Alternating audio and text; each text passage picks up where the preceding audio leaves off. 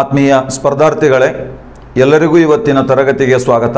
ನಾನು ಸಿದ್ದಣ್ಣ ದಳವಾಯಿ, ಸ್ಪರ್ಧಾ genius K S ಮತ್ತು ಪಿ ಎಸ್ ಐ ತರಬೇತಿ ಸಂಸ್ಥೆ ಧಾರವಾಡ. ಆತ್ಮೀಯರೇ, ನಾವು ನಿನ್ನೆ ತರಗತಿ ಒಳಗೆ ಬ್ರಿಟಿಷ್ ಸರ್ಕಾರ ಹಾಗೂ ಬ್ರಿಟಿಷ್ ಕಂಪನಿಯ ಆಡಳಿತಾವಧಿಯಲ್ಲಿ ಜಾರಿಗೆ ತಂದಿರತಕ್ಕಂಥ ಕೆಲವೊಂದಿಷ್ಟು ಕಾಯ್ದೆಗಳ ಬಗ್ಗೆ ನೋಡ್ತಾ ಇದ್ವಿ. Regulating act Pitt's India act ನಾಲ್ಕು ಚಾರ್ಟರ್ ಆ್ಯಕ್ಟು ಆಮೇಲೆ ಮೂರು ಕೌನ್ಸಿಲ್ ಆ್ಯಕ್ಟ್ಗಳ ಬಗ್ಗೆ ನಾವು ನೋಡಿದ್ದೀವಿ. ಅಷ್ಟೇ ಅಲ್ಲದೆ ಹದಿನೆಂಟುನೂರ ಐವತ್ತೆಂಟರ ಗೌರ್ಮೆಂಟ್ ಆಫ್ ಇಂಡಿಯಾ ಆ್ಯಕ್ಟ್ ಕೂಡ ನೋಡಿದ್ದೀವಿ ನಾವು. ಪ್ರತಿಯೊಂದು ಪರೀಕ್ಷೆ ಒಳಗೆ ಕೇಳತಕ್ಕಂತಹ ಈ ಕಾಯ್ದೆಗಳ ಬಗ್ಗೆ ನಾವು ಓದ್ತಾ ಇದ್ದೀವಿ. ಬಹಳಷ್ಟು ಪ್ರಶ್ನೆಗಳನ್ನು ಕೇಳ್ತಾರೆ ಅಂತ ನಾನು ನಿನ್ನೆ ಹೇಳಿದ್ದೆ. ಸುಮಾರು ಐವತ್ತರಿಂದ ಅರವತ್ತು ಕ್ವಶನ್ಸ್ ಅನ್ನು ಕೇಳ್ತಾರೆ ಅಂತ ಕೂಡ ನಾನು ನಿನ್ನೆ ನಿಮಗೆ ಹೇಳಿದ್ದೆ. ಓಕೆ, ಇವತ್ತಿನ ಈ ಒಂದು ತರಗತಿ ಒಳಗೆ ನಿನ್ನೇನು ಎರಡು ಉಳಿದಿದ್ದನು ಕಾಯ್ದೆಗಳು, ಆ ಎರಡು ಕಾಯ್ದೆಗಳ ಬಗ್ಗೆ ಇವತ್ತಿನ ಕ್ಲಾಸ್ ನೋಡೋಣ. ಅವು ಎಷ್ಟು ಇಂಪಾರ್ಟೆಂಟ್ ಆಗಿ ಅವು ಹತ್ತು, ಅವು ಅವ ಹತ್ತು ಎಷ್ಟೋ ಅಷ್ಟೇ ಇಂಪಾರ್ಟೆಂಟ್ ಆಗಿರ್ತಕ್ಕಂಥ ಈ ಎರಡು ಕಾಯ್ದೆಗಳದಾವ. ಈ ಎರಡು ಕಾಯ್ದೆಗಳ ಬಗ್ಗೆ ಎಕ್ಸಾಮ್ನ್ಯಾಗ ಏನೇನು ಕ್ವಶನ್ ಕೇಳ್ತಿರ್ತಾರೆ ಮತ್ತು ಕಾಯ್ದೆಗಳು ಯಾವುವು ಅಂತ ಹಿನ್ನೆಲೆ ಏನು ಅಂತ ನೋಡೋಣ. ನೀವೇನಾದರೂ ಮೊದಲ ಬಾರಿಗೆ ನಮ್ಮ ಚಾನಲ್ನ ನೋಡ್ತಾ ಇದ್ರೆ ದಯವಿಟ್ಟು ಸಿದ್ದಣ್ಣ ದಳವಾಯಿ ಎಜುಕೇಟರ್ ಚಾನಲನ್ನು ಸಬ್ಸ್ಕ್ರೈಬ್ ಮಾಡಿಕೊಡ್ರಿ. ಜೊತೆಗೆ ಸಬ್ಸ್ಕ್ರೈಬ್ ಬಟನ್ ಪಕ್ಕದಲ್ಲಿರುವ ಬೆಲ್ ಐಕಾನನ್ನು ಕ್ಲಿಕ್ ಮಾಡೋದರ ಮೂಲಕ ನಾವು ಅಪ್ಲೋಡ್ ಮಾಡ್ತಕ್ಕಂಥ ಎಲ್ಲ ವಿಡಿಯೋಗಳ ನೋಟಿಫಿಕೇಶನ್ ಅನ್ನು ಪಡಿಬೋದು. ಜೊತೆಗೆ ಲೈವ್ ಮಾಡ್ತಕ್ಕಂಥ ಎಲ್ಲ ವಿಡಿಯೋಗಳ ನೋಟಿಫಿಕೇಶನನ್ನು ನೀವು ಪಡಿಬಹುದು ಓಕೆ ನಾವೀಗ ಮುಂದಿನ ಒಂದು ಕಾಯ್ದೆ ಬಗ್ಗೆ ನೋಡೋಣ. ನಾನು ನಿನ್ನೆ ಕ್ಲಾಸ್ ನಿಮಗೆ ಹತ್ತೊಂಬತ್ತು ನೂರ ಒಂಬತ್ತರ ಕಾಯ್ದೆ ಬಗ್ಗೆ ಹೇಳಿದ್ದೆ. ಇಂಡಿಯನ್ ಕೌನ್ಸಿಲ್ ಆಕ್ಟ್ ಅಂತೇಳಿ. ಭಾರತೀಯ ಪರಿಷತ್ತು ಅಧಿನಿಯಮ ಅಂತ ನಾನು ಹೇಳಿದ್ದೆ ನಿಮಗೆ. ಭಾರತೀಯ ಪರಿಷತ್ತು ಅಧಿನಿಯಮ ಅಂತೇಳಿ. ಇವತ್ತಿನ ಈ ಒಂದು ತರಗತಿ ಒಳಗೆ ಅದರ ಮುಂದಿನ ಭಾಗವನ್ನು ನೋಡೋಣ. ಅದಕ್ಕಿಂತ ಮುಂಚೆ ನಾನೊಂದು ಎರಡು ಮುಖ್ಯವಾದ ಅಂಶಗಳನ್ನು ಹೇಳೋದಕ್ಕೆ ಬಯಸ್ತೀನಿ. ಹತ್ತೊಂಬತ್ತು ನೂರ ಏಳರಲ್ಲಿ ಸಾರಿ ಹತ್ತೊಂಬತ್ತು ನೂರ ಐದರಲ್ಲಿ ಬ್ರಿಟಿಷ್ ಸರ್ಕಾರ ಬ್ರಿಟಿಷ್ ಸರ್ಕಾರ ಬಂಗಾಳ ವಿಭಜನೆ ಮಾಡಿತ್ತು. ಅಂದ್ರೆ ಲಾರ್ಡ್ ಕರ್ಜನ್ ಅಂತ ಒಬ್ಬ ವೈಸ್ರ ಇದ್ದ ಆ ಲಾರ್ಡ್ ಕರ್ಜನನು ಬಂಗಾಳ ವಿಭಜನೆ ಮಾಡ್ತಾನೆ. ಈ ಬಂಗಾಳ ವಿಭಜನೆ ಆದ ನಂತರ ಹತ್ತೊಂಬತ್ ನೂರ ಆರರಲ್ಲಿ ಹತ್ತೊಂಬತ್ ನೂರ ಆರರಲ್ಲಿ ಒಂದು ಚಳುವಳಿಯನ್ನ ಆರಂಭಿಸಿದರು ಕಾಂಗ್ರೆಸ್ಸಿಗರು. ಆ ಚಳುವಳಿಯ ಹೆಸರು ಸ್ವದೇಶಿ ಚಳುವಳಿ ಅಂತೇಳಿ. ಸ್ವದೇಶಿ ಚಳುವಳಿ ಅಂತೇಳಿ ಕರಿತಿರ್ತೀವಿ. ಸ್ವದೇಶಿ ಮೂಮೆಂಟ್ ಅಂತ ಕರಿತಿರ್ತೀವಿ. ಬಂಗಾಳ ವಿಭಜನೆ ಮತ್ತು ಸ್ವದೇಶಿ ಚಳವಳಿಗೆ ಸಂಬಂಧಿಸಿದ ಹಾಗೆ ನಿಮಗೇನಾದರೂ ಹೆಚ್ಚಿನ ನಾಲೆಜ್ ಬೇಕು ಅಂತಂದ್ರೆ ನಾನು ಈ ವಿಡಿಯೋದ ಡಿಸ್ಕ್ರಿಪ್ಷನ್ನಲ್ಲಿ ಒಂದು ವಿಡಿಯೋ ಲಿಂಕನ್ನು ಹಾಕಿರ್ತೀನಿ ನಾನು. ಈಗ ಕಲ್ ಈಗಿರಲ್ಲ, ಅದು ವಿಡಿಯೋ ಮುಗಿದ ನಂತರ ಹಾಕಿರ್ತೀನಿ. ಆ ಡಿಸ್ಕ್ರಿಪ್ಷನ್ ಲಿಂಕ್ ಲಿಂಕ್ ಲಿಂಕ್ನಲ್ಲಿ ಒಂದು ವಿಡಿಯೋ ಇದೆ, ನೀವು ನೋಡ್ರಿ. ಬಂಗಾಳ ವಿಭಜನೆ ಮತ್ತು ಸ್ವದೇಶಿ ಚಳವಳಿದು ಅಲ್ಲಿ ಇದರ ಬಗ್ಗೆ ವಿವರಣಾತ್ಮಕವಾಗಿ ನಿಮಗೆ ಮಾಹಿತಿ ಸಿಗುತ್ತದೆ ಇದು ಸ್ವದೇಶಿ ಚಳುವಳಿಯನ್ನ ಆರಂಭಿಸಿದ್ರು. ಆಮೇಲೆ ಹತ್ತೊಂಬತ್ ನೂರ ಏಳರಲ್ಲಿ ಭಾರತೀಯ ರಾಷ್ಟ್ರೀಯ ಕಾಂಗ್ರೆಸ್ಸಿನ ಅಧಿವೇಶನ ಸೂರತ್ನಲ್ಲಿ ನಡೆದಿತ್ತು. ಈ ಸೂರತ್ನಲ್ಲಿ ಕಾಂಗ್ರೆಸ್ ಇಬ್ಬಾಗವಾಯಿತು ಇದನ್ನ ನಾವು ಸೂರತ್ ಒಡಕು ಎಂದು ಕರೆಯುತ್ತೇವೆ. ಇದನ್ನು ಸೂರತ್ ಒಡಕು ಸ್ಪ್ಲಿಟ್ ಆಫ್ ಸೂರತ್ ಅಂತ ಕರಿತೀವಿ. ಇಲ್ಲಿ ಕಾಂಗ್ರೆಸ್ ಎರಡು ಬಣಗಳಾಗಿ ವಿಭಜನೆ ಹೊಂದಿತ್ತು. ಯಾವ ಎರಡು ಬಣಗಳು ಅಂತಂದ್ರ ಒಂದು ಗರಂ ದಳ ಅಂತ ಕರಿತೀವಿ. ಇನ್ನೊಂದು ನರಂ ದಳ ಅಂತ ಕರಿತೀವಿ. ಒಂದು ಗರಂ ದಳ ಇನ್ನೊಂದು ನರಂ ದಳ ಈ ಗರಂ ದಳ ಅಂದ್ರೆ ತೀವ್ರಗಾಮಿಗಳು ನರಂ ದಳ ಅಂತಂದ್ರೆ ಮಂದಗಾಮಿಗಳು ಅಂತ ಅರ್ಥ ಇವೆರಡು ನೆನ್ಪಿಟ್ಕೊಂಡ್ಬಿಟ್ರಿ ಕಾಂಗ್ರೆಸ್ ವಿಭಜನೆ ಆಯಿತು.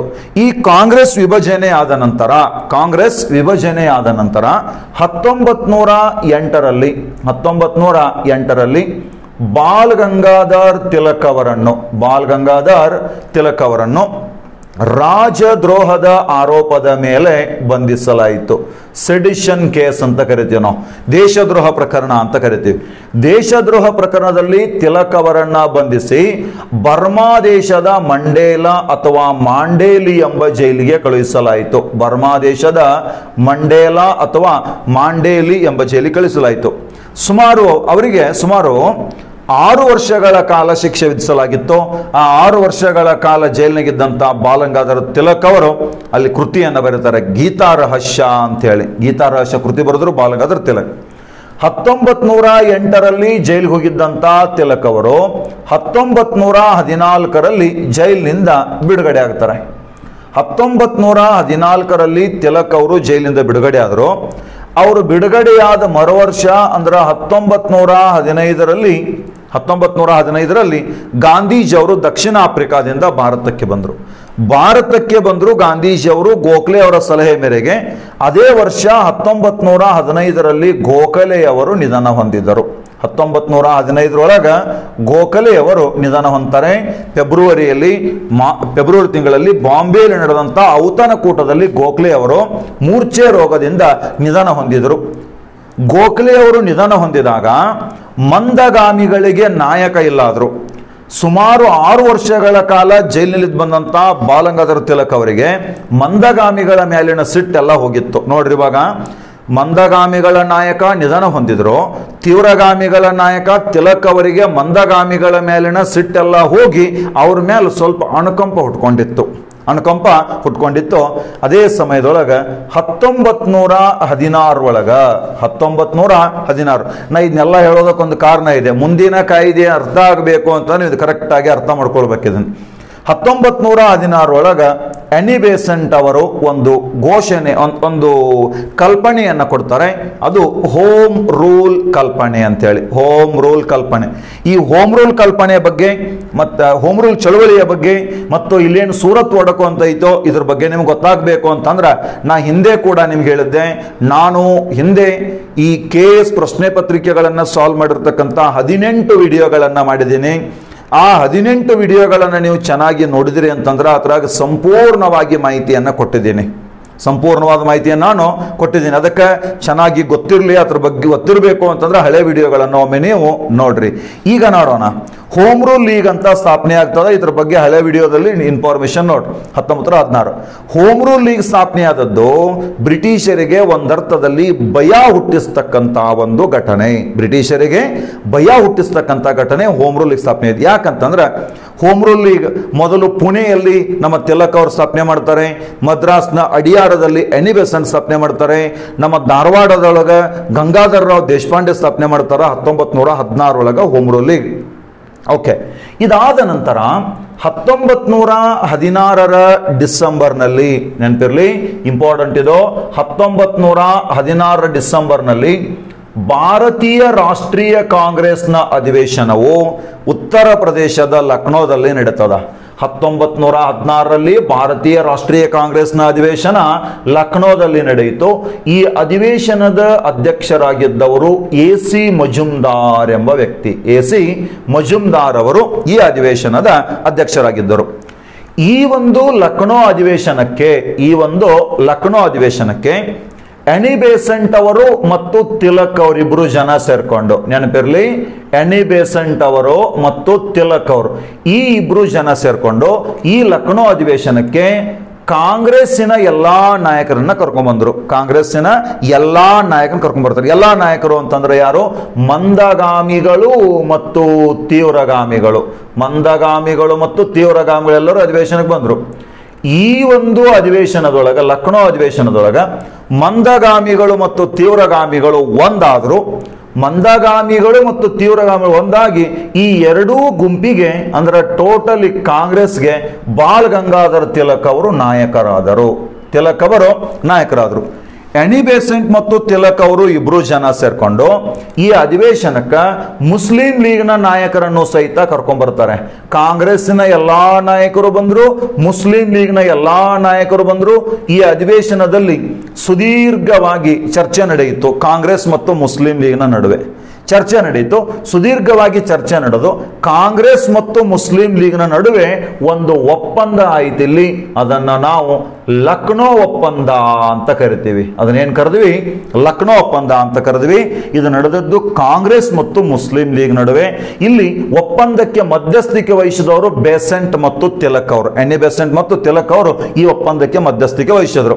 ಹಾಗಾದ್ರೆ ಈ ಒಪ್ಪಂದದ ಕರಾರ್ ಏನು ಅಂತಂದ್ರ ಮೊದಲನೇದ್ದು ನೋಡ್ರಿ. ಕಾಂಗ್ರೆಸ್ಸಿನ ಬೇಡಿಕೆ ಏನಾಗಿತ್ತು? ಸ್ವರಾಜ್ ಅಂತಿತ್ತು. ಕಾಂಗ್ರೆಸ್ಸಿನ ಬೇಡಿಕೆ ಸ್ವರಾಜ್. ಕಾಂಗ್ರೆಸ್ಸಿನ ಈ ಸ್ವರಾಜ್ ಹೋರಾಟಕ್ಕೆ, ಕಾಂಗ್ರೆಸ್ಸಿನ ಸ್ವರಾಜ್ ಹೋರಾಟಕ್ಕೆ ಮುಸ್ಲಿಂ ಲೀಗ್ನವರು ಬೆಂಬಲ ಕೊಡಬೇಕು. ಕಾಂಗ್ರೆಸ್ಸಿನ ಸ್ವರಾಜ್ ಹೋರಾಟಕ್ಕೆ ಮುಸ್ಲಿಂ ಲೀಗ್ನವರು ಬೆಂಬಲ ಕೊಡಬೇಕು. ಇನ್ನು ಮುಂದೆ ಮುಸ್ಲಿಂ ಲೀಗ್ನವರು ಪ್ರತ್ಯೇಕವಾದ ಅಧಿವೇಶನಗಳನ್ನು ನಡೆಸುವಂತಿಲ್ಲ.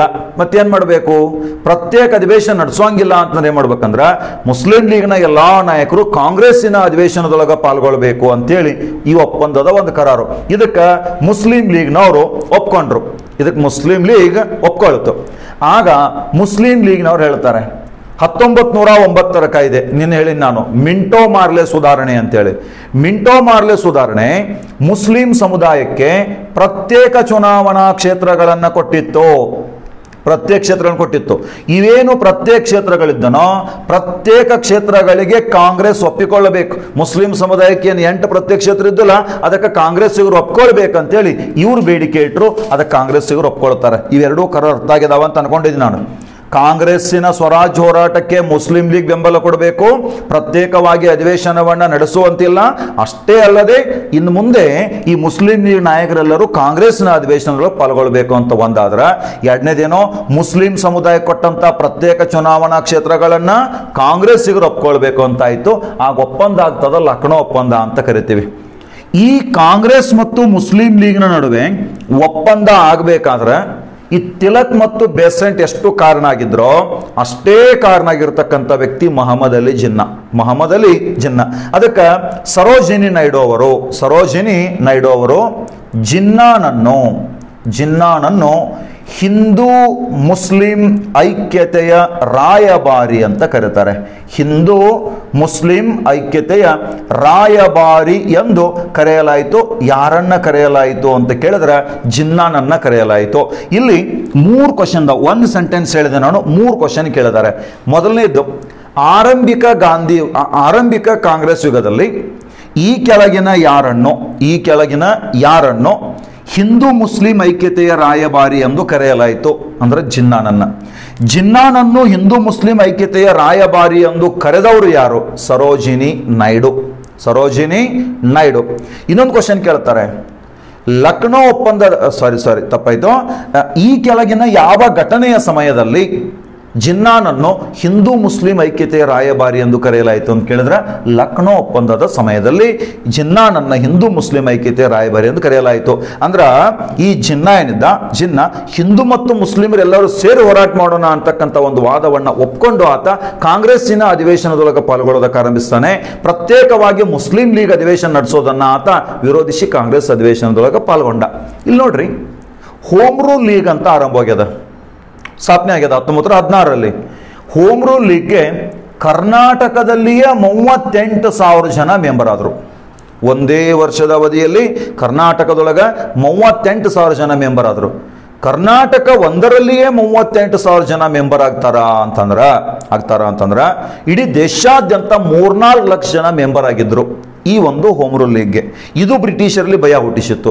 ಒಂದು ವೇಳೆ ಹೋಮ್ ರೂಲ್ ಲೀಗ್ ಏನಾದರೂ ಇದೇ ರೀತಿಯಾಗಿ ಸದಸ್ಯರ ಸಂಖ್ಯೆಯನ್ನು ಹೆಚ್ಚು ಮಾಡ್ತಾ ಹೆಚ್ಚು ಮಾಡ್ತಾ ಹೋಗಿ ಬ್ರಿಟಿಷರ ವಿರುದ್ಧ ದೊಡ್ಡ ಒಂದು ಚಳವಳಿಯನ್ನು ಸಂಘಟಿಸಿಬಿಟ್ರೆ ಸಮಸ್ಯೆ ಆಗ್ತದ ಅಂತೇಳಿ ಭಯ ಬ್ರಿಟಿಷರಿಗೆ.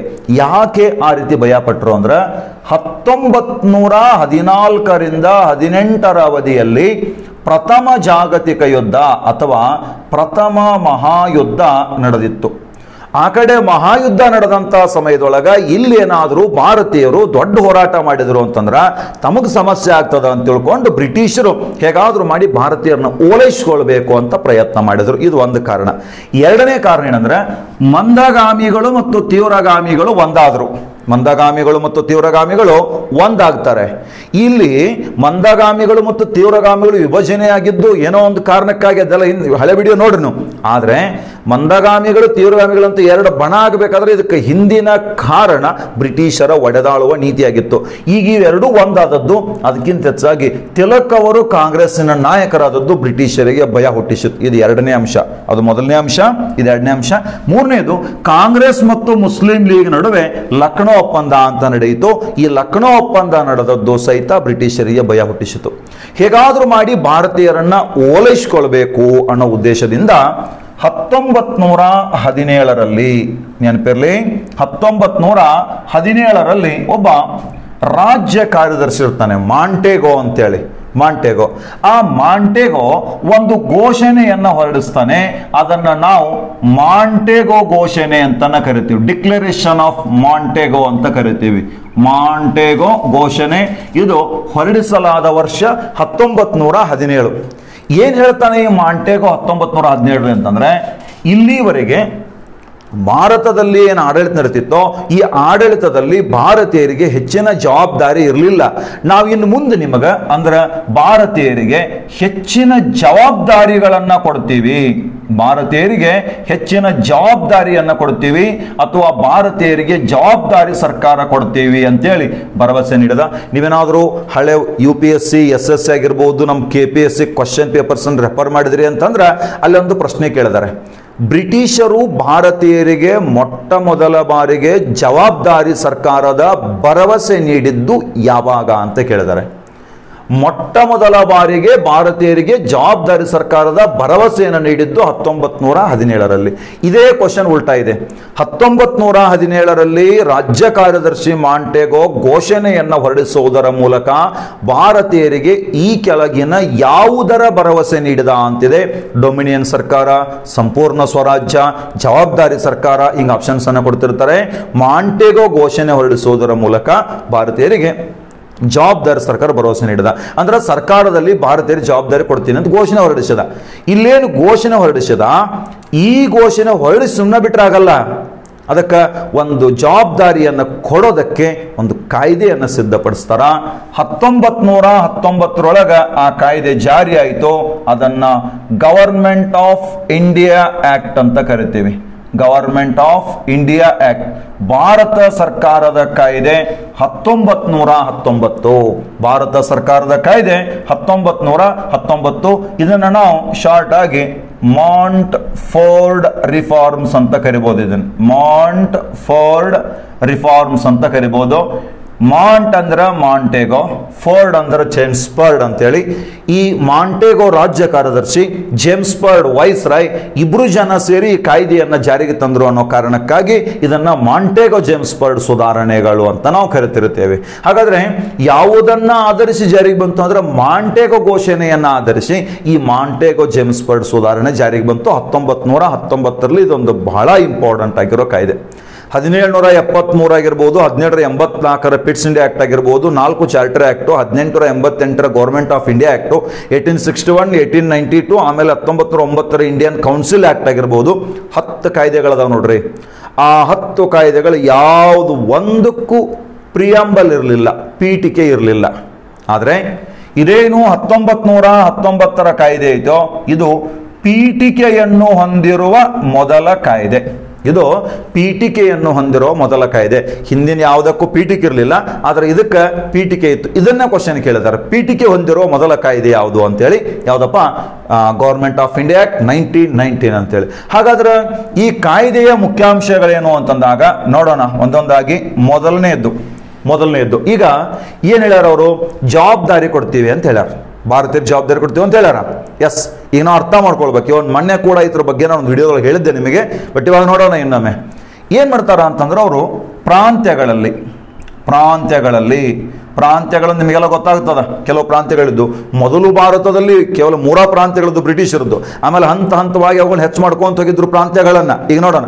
ಏನ್ ಮಾಡ್ತಾರೆ ಬ್ರಿಟಿಷರು ಅಂತಂದ್ರೆ ಹತ್ತೊಂಬತ್ ನೂರ ಹತ್ತೊಂಬತ್ತರಲ್ಲಿ ಹತ್ತೊಂಬತ್ ನೂರ ಹತ್ತೊಂಬತ್ತರಲ್ಲಿ ಪ್ರಾಂತ್ಯಗಳಲ್ಲಿನ ಆಡಳಿತದ ಅರ್ಧಾಧಿಕಾರವನ್ನು ಭಾರತೀಯರಿಗೆ ಬಿಟ್ಕೊಟ್ರು. ಅರ್ಧ ಅಧಿಕಾರ ಯಾರು ಕೊಟ್ಟರು ಭಾರತೀಯರು ಬಿಟ್ಕೊಟ್ರು. ಈಗ ಅರ್ಥ ಮಾಡ್ಕೊಡ್ರಿ ಇಲ್ಲಿವರೆಗೆ ಕೇಂದ್ರ ಮತ್ತು ಪ್ರಾಂತ್ಯ ಎಲ್ಲ ಆಡಳಿತ ಯಾರ ಕಡೆಗಿತ್ತು? ಬ್ರಿಟಿಷರ ಕಡೆಗಿತ್ತು. ಆದ್ರೆ ಇವಾಗ ಏನ್ ಮಾಡಕತ್ತಾರ?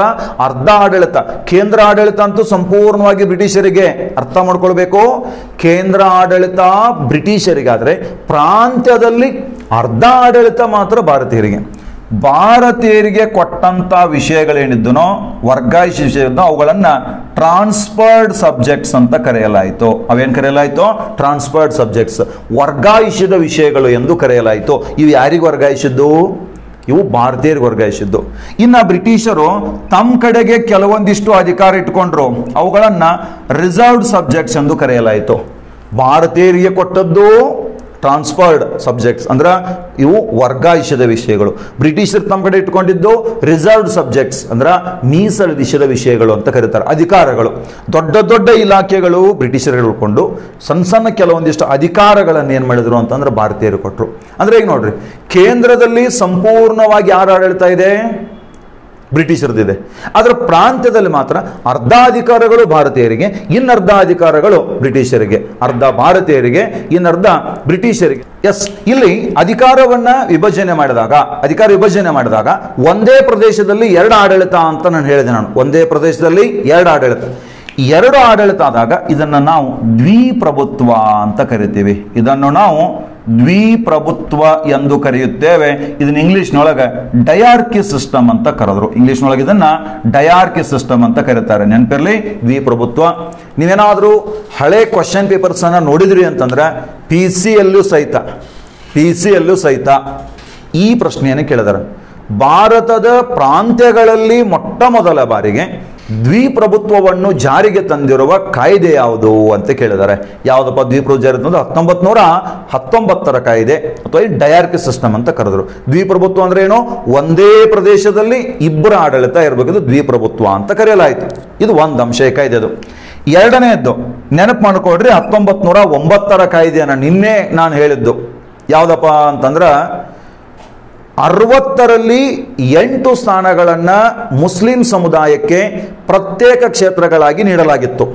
ಆದರೆ ಅಲ್ಲಿ ಕೇವಲ ಮುಸ್ಲಿಂ ಸಮುದಾಯಕ್ಕೆ ಪ್ರತ್ಯೇಕ ಕ್ಷೇತ್ರಗಳನ್ನು ನೀಡಿದರೆ ಈ ಒಂದು ಕಾಯ್ದೆ ಒಳಗ, ಈ ಒಂದು ಕಾಯ್ದೆ ಒಳಗ ಆಂಗ್ಲೋ ಇಂಡಿಯನ್ನರು ಆಂಗ್ಲೋ ಇಂಡಿಯನ್ನರು, ಪಾರ್ಸಿಗಳು, ಆಂಗ್ಲೋ ಇಂಡಿಯನ್ನರು, ಪಾರ್ಸಿಗಳು, ಸಿಖ್ಖರು, ಆಂಗ್ಲೋ ಇಂಡಿಯನ್ನರು, ಪಾರ್ಸಿಗಳು ಸಿಖ್ಖರು, ಅಷ್ಟೇ ಅಲ್ಲದೆ ಭಾರತೀಯ ಕ್ರಿಶ್ಚಿಯನ್ನರು, ಆಂಗ್ಲೋ ಇಂಡಿಯನ್ನರು, ಭಾರತ್, ಆಂಗ್ಲೋ ಇಂಡಿಯನ್ನರು, ಪಾರ್ಸಿಗಳು ಸಿಖ್ಖರು ಮತ್ತು ಭಾರತೀಯ ಕ್ರಿಶ್ಚಿಯನ್ರು ಏನಿದಾರೋ, ಇವರಿಗೂ ಸಹಿತ ಪ್ರತ್ಯೇಕ ಚುನಾವಣಾ ಕ್ಷೇತ್ರಗಳನ್ನು ನೀಡಲಾಯಿತು. ಇವರಿಗೂ ಸಹಿತ ಒಂದೊಂದು ಪ್ರತ್ಯೇಕ ಚುನಾವಣಾ ಕ್ಷೇತ್ರ ನೀಡಲಾಯಿತು. ಇದು ಇಂಪಾರ್ಟೆಂಟ್ ಇದು ಇದು U P S C question ಇದು. ಓಕೆ? ನೆನಪಿರ್ಲಿ ಇದು ಆಂಗ್ಲೋ ಇಂಡಿಯನ್ರು ಪಾರ್ಸಿ ಧರ್ಮೀಯರು ಸಿಖ್ ಧರ್ಮೀಯರು ಇಂಡಿಯನ್ ಕ್ರಿಶ್ಚಿಯನ್ಸ್ ಏನಿದ್ರು ಇವರಿಗೆ ಏನು ಕೊಡಲಾಯಿತು? ಪ್ರತ್ಯೇಕ ಚುನಾವಣಾ ಕ್ಷೇತ್ರಗಳನ್ನು ಕೊಡಲಾಯಿತು. ಆಯ್ತು. ಮೂರನೇ ಅಂಶ ಏನಪ್ಪಾ ಅಂತಂದ್ರ, ಕೇಂದ್ರದಲ್ಲಿ ಕೇಂದ್ರದಲ್ಲಿ ನಾನು ಇಲ್ಲಿವರೆಗೆ ಹೇಳಿದ್ದು ಪ್ರಾಂತ್ಯದ್ದು ದ್ವಿಪ್ರಭುತ್ವ ಅಂತೇಳಿ ನಾನು, ಡಯಾರ್ಕಿ ಅಂತ ಹೇಳಿನಿ ಆದರೆ, ಕೇಂದ್ರದಲ್ಲಿ ದ್ವಿಸದನ ಶಾಸಕಾಂಗವನ್ನ ರಚನೆ ಮಾಡಲಾಯಿತು. ಕೇಂದ್ರದಲ್ಲಿ ದ್ವಿಸದನ ಶಾಸಕಾಂಗ ರಚನೆ ಮಾಡಲಾಯಿತು. ಅದಕ್ಕೆ ಬೈ ಕ್ಯಾಮ್ರಲ್ ಅಸೆಂಬ್ಲಿ ಅಂತ ಕರಿತೇವೆ ನಾವು. Bicameral assembly. ಅಲ್ಲಿ ಕೇಂದ್ರದಲ್ಲಿ, ಅಂದ್ರೆ ರಾಜ್ಯದಲ್ಲಿ ದ್ವಿಪ್ರಭುತ್ವ, ಒಂದೇ ಪ್ರದೇಶದಲ್ಲಿ ಎರಡು ಆಡಳಿತ. ಆದರೆ ಕೇಂದ್ರದಲ್ಲಿ ದ್ವಿಸದನ ದ್ವಿಸದನ ಎಂದರೆ ದ್ವಿಸದನ ಮೇಲ್ಮಣೆ ಮತ್ತು ಕೆಳಮಣೆ ಎರಡನ್ನ ಇಲ್ಲಿ ಸ್ಥಾಪಿಸಲಾಯಿತು. ಮೇಲ್ಮನೆಗೆ ಲೆಜಿಸ್ಲೇಟಿವ್ ಕೌನ್ಸಿಲ್ ಅಂತ ಕರೆದ್ರು ಕೆಳಮನೆಗೆ ಲೆಜಿಸ್ಲೇಟಿವ್ ಅಸೆಂಬ್ಲಿ ಅಂತ ಕರೆದ್ರು. ಇವತ್ತು ಚೇಂಜ್ ಆಗಿ ಇವತ್ತು ಹೊತ್ತು ಹೋಲಿಕೆ ಮಾಡಕ್ ಹೋಗ್ಬಾರ್ದು ನಾವು.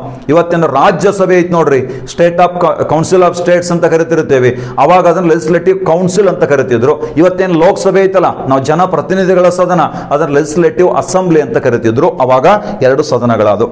ಇದಾದ ನಂತರ ಇಲ್ಲಿ ಈ ಕಾಯ್ದೆಯ ನಾಲ್ಕನೇ ಅಂಶ ಏನು ಹೇಳುತ್ತದೆ?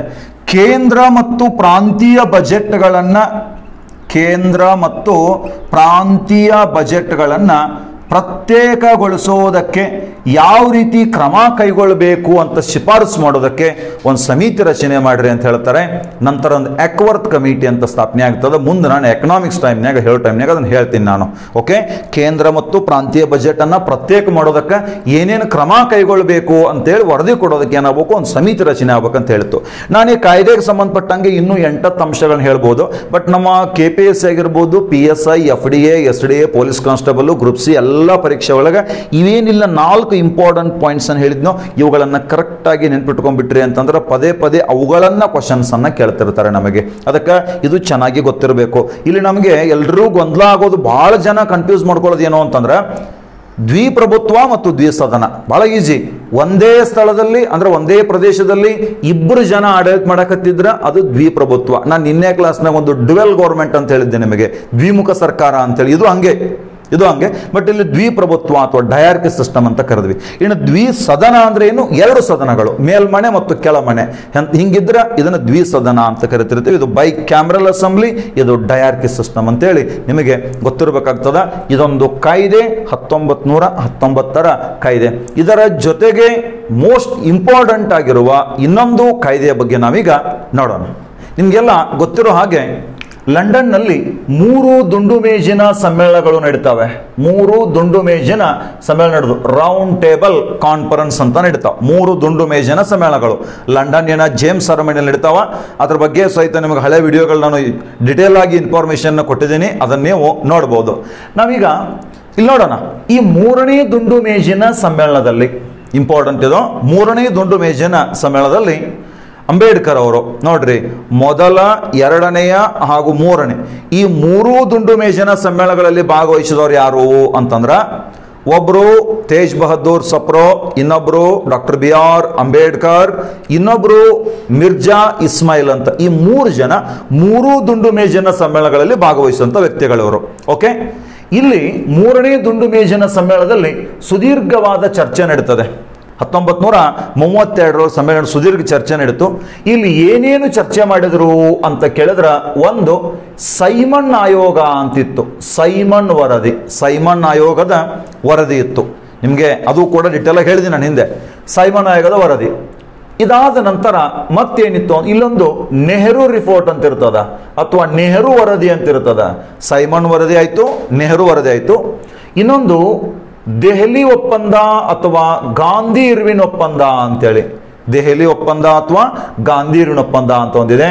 ಇನ್ನೊಂದು ಮುಖ್ಯವಾದದ್ದು ಪೂನಾ ಒಪ್ಪಂದ ಅಂತಿದೆ. ಸೈಮನ್ ವರದಿ, ನೆಹರು ವರದಿ, ದೆಹಲಿ ಒಪ್ಪಂದ ಪೂನಾ ಒಪ್ಪಂದ ಅಂತ ಏನಿದಾವೋ, ಇವೆಲ್ಲವುಗಳನ್ನು ಸೇರಿಸಿ ಚರ್ಚೆ ಮಾಡಿ, ಇದರೊಳಗಿನ ಕೆಲವೊಂದಿಷ್ಟು ಅಂಶಗಳನ್ನು ಆಯ್ಕೆ ಮಾಡಿಕೊಂಡು ಒಂದು ಕಾಯ್ದೆಯನ್ನು ಸಿದ್ಧಪಡಿಸ್ತಾರೆ. ಮೂರನೇ ದುಂಡು ಮೇಜಿನ ಸಮ್ಮೇಳನದಲ್ಲಿ, ಮೂರನೇ ದುಂಡು ಮೇಜಿನ ಸಮ್ಮೇಳನದಲ್ಲಿ ಒಂದು ಕಾಯ್ದೆಯನ್ನು ಸಿದ್ಧಪಡಿಸಲಾಯಿತು. ಆ ಕಾಯ್ದೆಯನ್ನ, ಅಂದ್ರೆ ಮೂರನೇ ದುಂಡು ಮೇಜಿನ ಸಮ್ಮೇಳನದಲ್ಲಿ ಸಿದ್ಧಪಡಿಸಿರ, ಸಿದ್ಧಪಡಿಸಿರುವ ಕಾಯ್ದೆಯನ್ನ ಹತ್ತೊಂಬತ್ ನೂರ ಮೂವತ್ತೈದರ ಆಗಸ್ಟ್ ತಿಂಗಳ ನಾಲ್ಕನೇ ತಾರೀಕಿನಂದು ಜಾರಿಗೆ ತರಲಾಯಿತು. ಹತ್ತೊಂಬತ್ ನೂರ ಮೂವತ್ತೈದರ ಆಗಸ್ಟ್ ನಾಲ್ಕು ಜಾರಿ ತರಲಾಯಿತು. ಇದನ್ನ ಭಾರತ ಸರ್ಕಾರದ ಕಾಯ್ದೆ. Government of India act nineteen thirty five ಅಂತ ಕರೀತೀವಿ. ಹತ್ತೊಂಬತ್ ನೂರ ಮೂವತ್ತೈದರ ಭಾರತ ಸರ್ಕಾರದ ಕಾಯ್ದೆ ಅಂತ ಕರಿತೀವಿ. ಇದು ಮೂರನೇ ದುಂಡು ಮೇಜಿನ ಸಮ್ಮೇಳನ ಸಿದ್ಧಪಡಿಸಿರುವಂತಹದ್ದು. ಸಿದ್ಧಪಡಿಸಿದ್ದು ಅಲ್ಲಿ ಬಟ್ ಜಾರಿ ಬಂದದ್ದು ಮಾತ್ರ ಹತ್ತೊಂಬತ್ ನೂರ ಮೂವತ್ತೈದು. ಭಾರತದ ಇತಿಹಾಸದೊಳಗ ಈ ಬ್ರಿಟಿಷರು ಜಾರಿಗೆ ತಂದಿರುವ ಅತಿ ದೊಡ್ಡ ಕಾಯಿದೆ ಅಂತಂದ್ರೆ ಇದು. ಬ್ರಿಟಿಷರು ಜಾರಿಗೆ ತಂದಿರುವ ಅತಿ ದೊಡ್ಡ ಕಾಯ್ದೆ ಯಾವುದಂದ್ರೆ ಅದು ಹತ್ತೊಂಬತ್ತು ನೂರ ಮೂವತ್ತೈದರ ಕಾಯ್ದೆ. ಇಲ್ಲಿ ಯಾಕೆ ಇದು ದೊಡ್ಡ ಕೈತರ ಸಂಪೂರ್ಣವಾಗಿ ನಮ್ಮ ದೇಶದ ಸಂಸದೀಯ ವ್ಯವಸ್ಥೆ ಬಗ್ಗೆ ಆಗಿರ್ಬೋದು, ನಮ್ಮ ದೇಶದ ಕೆಲವೊಂದಿಷ್ಟು ಸಾಮಾಜಿಕ ಅಂಶಗಳಾಗಿರ್ಬೋದು, ಎಲ್ಲವೂ ಇದರೊಳಗೆ ಸೇರಿದ್ದು, ರಾಜಕೀಯ ಅಂಶಗಳು ಸೇರಿದ್ದು, ಅದಕ್ಕೆ ಅತಿ ದೊಡ್ಡ ಕಾಯ್ದೆ.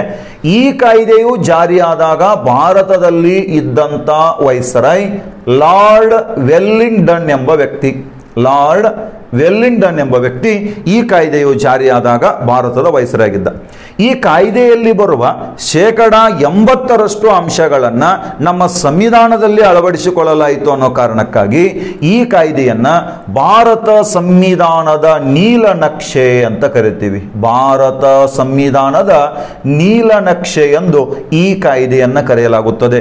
Blue print of Indian constitution ಎಂದು ಈ ಕಾಯ್ದೆಯನ್ನು ಕರೆಯಲಾಯಿತು. ಹತ್ತೊಂಬತ್ತು ನೂರ ಮೂವತ್ತೈದರ ಕಾಯ್ದೆಯನ್ನ. ಹಾಗಾದರೆ ಈ ಕಾಯ್ದೆಯಲ್ಲಿ ಬರೋ ಅಂಶಗಳನ್ನು ಸುಮಾರು ನಾನೊಂದು ಹತ್ತು ಪಾಯಿಂಟ್ಸನ್ನು ಹೇಳ್ತೀನಿ ಇವತ್ತು. ಈ ಹತ್ತು ಪಾಯಿಂಟ್ ಏನು ಹೇಳ್ತೀನೋ, ಈ ಹತ್ತು ಪಾಯಿಂಟು ಒಂದೊಂದು ಪಾಯಿಂಟು ಒಂದೊಂದು ಕಾಯ್ದೆ ಆಗ್ಯದ. ಒಂದೊಂದು ಪಾಯಿಂಟ್ ಒಂದೊಂದು ಕಾಯ್ದೆ ಆಗ್ಯದ. ನೋಡೋಣ ಯಾವ ಅಂತೇಳಿ. ಈಗ ನಾನು ಹೇಳಿದೆ ಹತ್ತೊಂಬತ್ತು ನೂರ ಹತ್ತೊಂಬತ್ತರ ಕಾಯ್ದೆ. ಪ್ರಾಂತ್ಯಗಳಲ್ಲಿ ದ್ವಿಪ್ರಭುತ್ವವನ್ನು ಸ್ಥಾಪನೆ ಮಾಡಿತ್ತು ಅಂತ ಹೇಳಿದೆ. ದ್ವಿಪ್ರಭುತ್ವ ಅಂದ್ರೆ ನೋಡ್ರಿ, ಕೇಂದ್ರದೊಳಗ ಅಂದ್ರ ಡೆಲ್ಲಿ ಒಳಗ ಸಂಪೂರ್ಣ ಆಡಳಿತ ಎಲ್ಲವೂ ಬ್ರಿಟಿಷರದ್ದು. ಆದರೆ ಪ್ರಾಂತ್ಯಗಳಲ್ಲಿ ಅರ್ಧ ಅಧಿಕಾರ ಭಾರತೀಯರಿಗೆ ಇನ್ನರ್ಧ ಅಧಿಕಾರ ಬ್ರಿಟಿಷರಿಗೆ ಅಂತಿತ್ತು. ಈಗಿದು ಹೇಳ್ತದೆ, ಮೊದಲನೇದ್ದು, ಪ್ರಾಂತ್ಯಗಳಲ್ಲಿನ ಪ್ರಾಂತ್ಯಗಳಲ್ಲಿನ ದ್ವಿಪ್ರಭುತ್ವವನ್ನ ರದ್ದು ಮಾಡಬೇಕು. ಅರ್ಥ ಮಾಡ್ಕೊಡ್ರಿ ಕರೆಕ್ಟಾಗಿ ಪ್ರಾಂತ್ಯಗಳಲ್ಲಿನ ದ್ವಿಪ್ರಭುತ್ವವನ್ನ ರದ್ದು ಮಾಡಬೇಕು. ಏನಿದು ಹಿಂಗಂತಂದ್ರ? ಅರ್ಧ ಅಧಿಕಾರ ಅವರಿಗೆ, ಅರ್ಧ ಅಧಿಕಾರ ಭಾರತೀಯರಿಗಿತ್ತಲ್ಲ, ಇದು ಸಂಪೂರ್ಣವಾಗಿ ರದ್ದಾಗಬೇಕು ಇದು ಮೊದಲನೇ ಅಂಶ. ಹಾಗಾದ್ರೆ ಇನ್ನು ಮುಂದೆ ಪ್ರಾಂತ್ಯಗಳ ಅರ್ಧ ಅರ್ಧ ರದ್ದಾದ್ರೆ ಪ್ರಾಂತ್ಯಗಳಲ್ಲಿ ಯಾರು ಆಡಳಿತ ಮಾಡಬೇಕು ಅಂತ ಪ್ರಶ್ನೆ ಕೇಳಿದ್ರೆ ಪ್ರಾಂತ್ಯಗಳ ಸಂಪೂರ್ಣ ಸ್ವಾಯತ್ತತೆಯನ್ನು, ಪ್ರಾಂತ್ಯಗಳ ಸಂಪೂರ್ಣ ಸ್ವಾತಂತ್ರ್ಯವನ್ನು ಭಾರತೀಯರಿಗೆ ಕೊಡಲಾಯಿತು. ಸಂಪೂರ್ಣ ಸ್ವಾಯತ್ತತೆಯನ್ನು, ಪ್ರಾಂತೀಯ ಸ್ವಾಯತ್ತತೆಯನ್ನು ಭಾರತೀಯರಿಗೆ ಕೊಡಲಾಯಿತು. ಇದು ಈ ಕಾಯ್ದೆ ಅತಿ ಮುಖ್ಯವಾದ ಅಂಶ.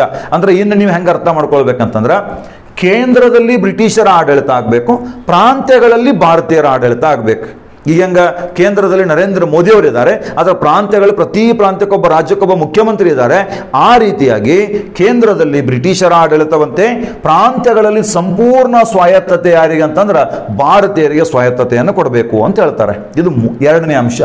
ಮೂರನೇ ಅಂಶ ನೋಡ್ರಿ, ಭಾರತವನ್ನು ಭಾರತವನ್ನು ಪ್ರಾಂತ್ಯಗಳ ಒಕ್ಕೂಟ ಎಂದು ಕರೆಯಲಾಯಿತು. ಇಲ್ಲಿವರೆಗೆ ಭಾರತವನ್ನ ಒಕ್ಕೂಟ ಎಂದು ಕರೆದಿರಲಿಲ್ಲ.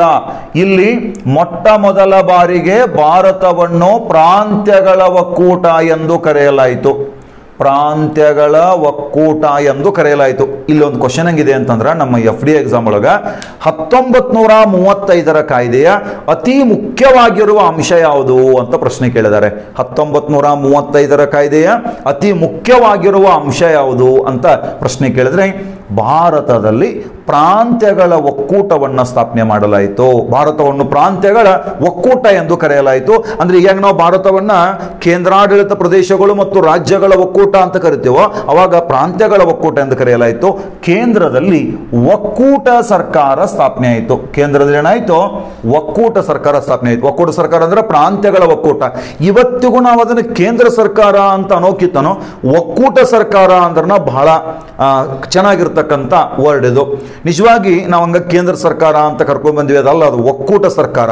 ಯಾಕಂತಂದ್ರೆ ನಮ್ಮ ಈ ಸಂವಿಧಾನದ ಪ್ರಕಾರ ಸಂವಿಧಾನವನ್ನು ನಾವು ಸಂಪೂರ್ಣವಾಗಿ ಅರ್ಥೈಸಿಕೊಂಡಾಗ ಏನ್ ಹೇಳ್ತದೆ ಸಂವಿಧಾನ ಅಂತಂದ್ರೆ ಕೇಂದ್ರಕ್ಕಿಂತ ರಾಜ್ಯಗಳೇ ಸ್ಟ್ರಾಂಗ್ ಆಗಿರಬೇಕು. ಕೇಂದ್ರಕ್ಕಿಂತ ರಾಜ್ಯಗಳೇ ಸ್ಟ್ರಾಂಗ್ ಸ್ಟ್ರಾಂಗ್ ಅಂತಂದ್ರೆ ರಾಜ್ಯಗಳು ಕೇಂದ್ರಗಳಿಗೆ ಯುದ್ಧ ಮಾಡೋದು ಅಂತಲ್ಲ. ಅಧಿಕಾರವನ್ನು ನೋಡಿದಾಗ ಕೇಂದ್ರಗಳಿಗಿಂತ ರಾಜ್ಯಗಳೇ ಸ್ಟ್ರಾಂಗು ಅದಕ್ಕೆ ಭಾರತವನ್ನ ಪ್ರಾಂತ ರಾಜ್ಯಗಳು ಮತ್ತು ಕೇಂದ್ರಾಡಳಿತ ಪ್ರದೇಶಗಳ ಒಕ್ಕೂಟ ಅಂತ ಕರೆದಂಗ ಇಲ್ಲಿ ಪ್ರಾಂತ್ಯಗಳ ಒಕ್ಕೂಟ ಅಂತ ಕರೆದು ಕೇಂದ್ರದಲ್ಲಿ ಒಕ್ಕೂಟ ಸರ್ಕಾರ ಸ್ಥಾಪನೆ ಆಯಿತು. ಇದು ಈ ಕಾಯ್ದೆಯ ಮೂರನೇ ಅಂಶ ಹಾಗೂ ಅತೀ ಮುಖ್ಯವಾಗಿರೋ ಅಂಶ ಇದು.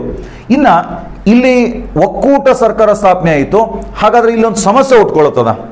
ಪ್ರಾಂತ್ಯಗಳಿಗೆ ಯಾವ ಆಡಳಿತ, ಕೇಂದ್ರಕ್ಕೆ ಯಾವ ಆಡಳಿತ ಅಂತೇಳಿ ನೋಡ್ರಿ ನಮ್ಮಲ್ಲಿ ಕೇಂದ್ರ ಪಟ್ಟಿ ರಾಜ್ಯ ಪಟ್ಟಿ ಸಮೂರ್ತಿ ಪಟ್ಟಿ ಅಂತ ಅದಾವಲ್ಲ.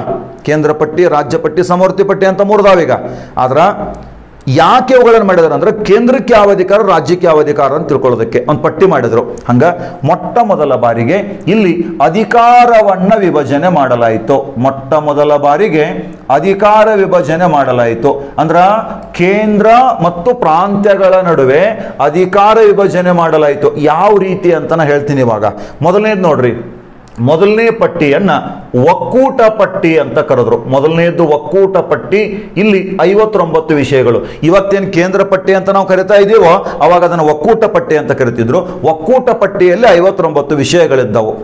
ಎರಡನೇದ್ದು ಪ್ರಾಂತ್ಯ ಪಟ್ಟಿ ಅಂತ ಕರೀತಾರೆ. ಪ್ರಾಂತ್ಯ ಪಟ್ಟಿ ಅಂತ ಕರೆದ್ರು.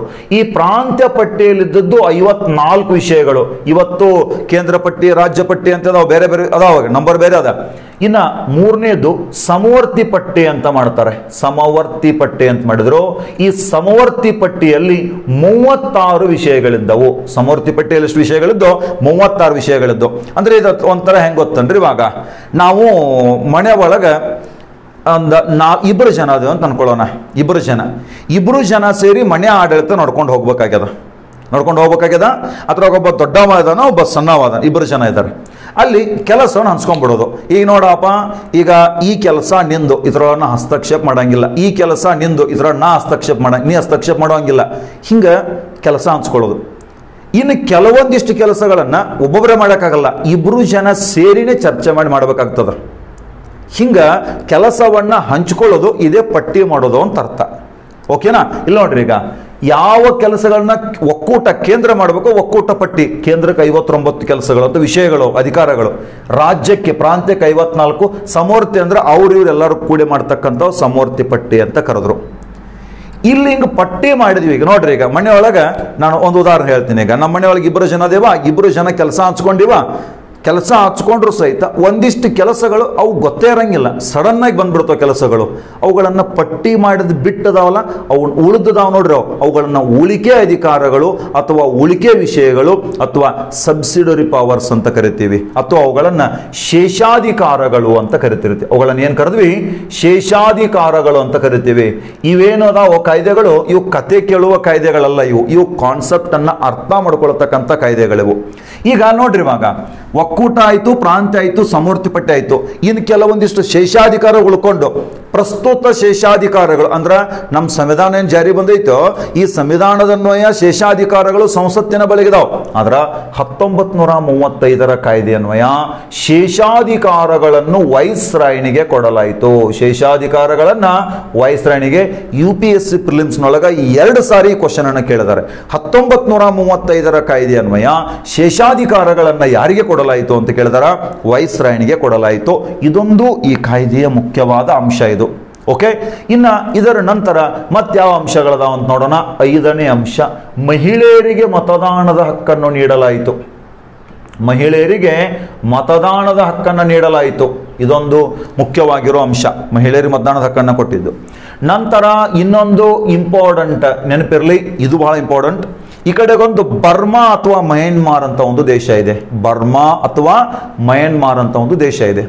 ಈ ಬರ್ಮಾ ದೇಶ ಅದಕ್ಕೆ ಪ್ರತ್ಯೇಕವಾದ ರಾಜಧಾನಿ ಇರಲಿಲ್ಲ. ಪ್ರತ್ಯೇಕವಾದ ಆಡಳಿತ ಕೇಂದ್ರ ಇರಲಿಲ್ಲ. ಅದು ಭಾರತದ ಒಂದು ಭಾಗವಾಗಿತ್ತು ಈ ಬ್ರಿಟಿಷರ ಕಾಲದೊಳಗೆ. ಅದಕ್ಕೆ ಹತ್ತೊಂಬತ್ ನೂರ ಮೂವತ್ತೈದರ ಕಾಯ್ದೆ ಹೇಳ್ತದ, ಬರ್ಮಾವನ್ನು ಭಾರತದಿಂದ ಪ್ರತ್ಯೇಕಿಸಬೇಕು.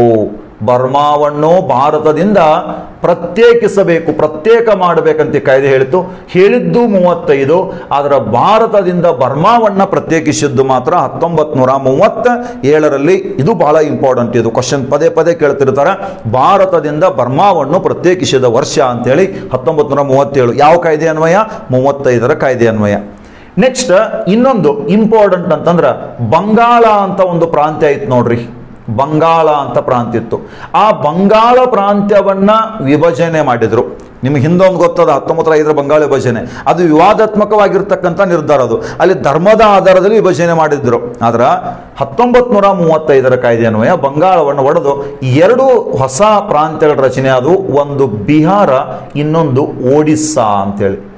ಬಿಹಾರ ಮತ್ತು ಒಡಿಸ್ಸಾ ಅಂತೇಳಿ ಇಲ್ಲಿ ಎರಡು ಪ್ರಾಂತ್ಯಗಳು ರಚನೆ ಆಗ್ತಾವೆ. ಅಂದ್ರೆ ಟೋಟಲ್ ಬಂಗಾಳ ಒಂದಿದ್ದದ್ದು ಮೂರು ಪ್ರಾಂತ್ಯ ಆಯ್ತು. ಒಂದು ಬಂಗಾಳ, ಒಂದು ಬಿಹಾರ, ಇನ್ನೊಂದು ಒಡಿಸ್ಸಾ ಅಂತೇಳಿ ಇಲ್ಲಿ ಮೂರು ಪ್ರಾಂತ್ಯಗಳಾಗಿ ಅದು ವಿಭಜನೆ ಆಗ್ತದ. ನೆಕ್ಸ್ಟ್ ಏನಪ್ಪ ಈ ಕಾಯ್ದೆ ಅಂಶಗಳು ಅಂತಂದ್ರೆ ನಿಮಗೆಲ್ಲ ಗೊತ್ತದ. ಪ್ರತ್ಯೇಕ ಚುನಾವಣಾ ಕ್ಷೇತ್ರಗಳು ಅಂತ ಕೊಟ್ಟಿದ್ರು. ಯಾರಿಗೆ?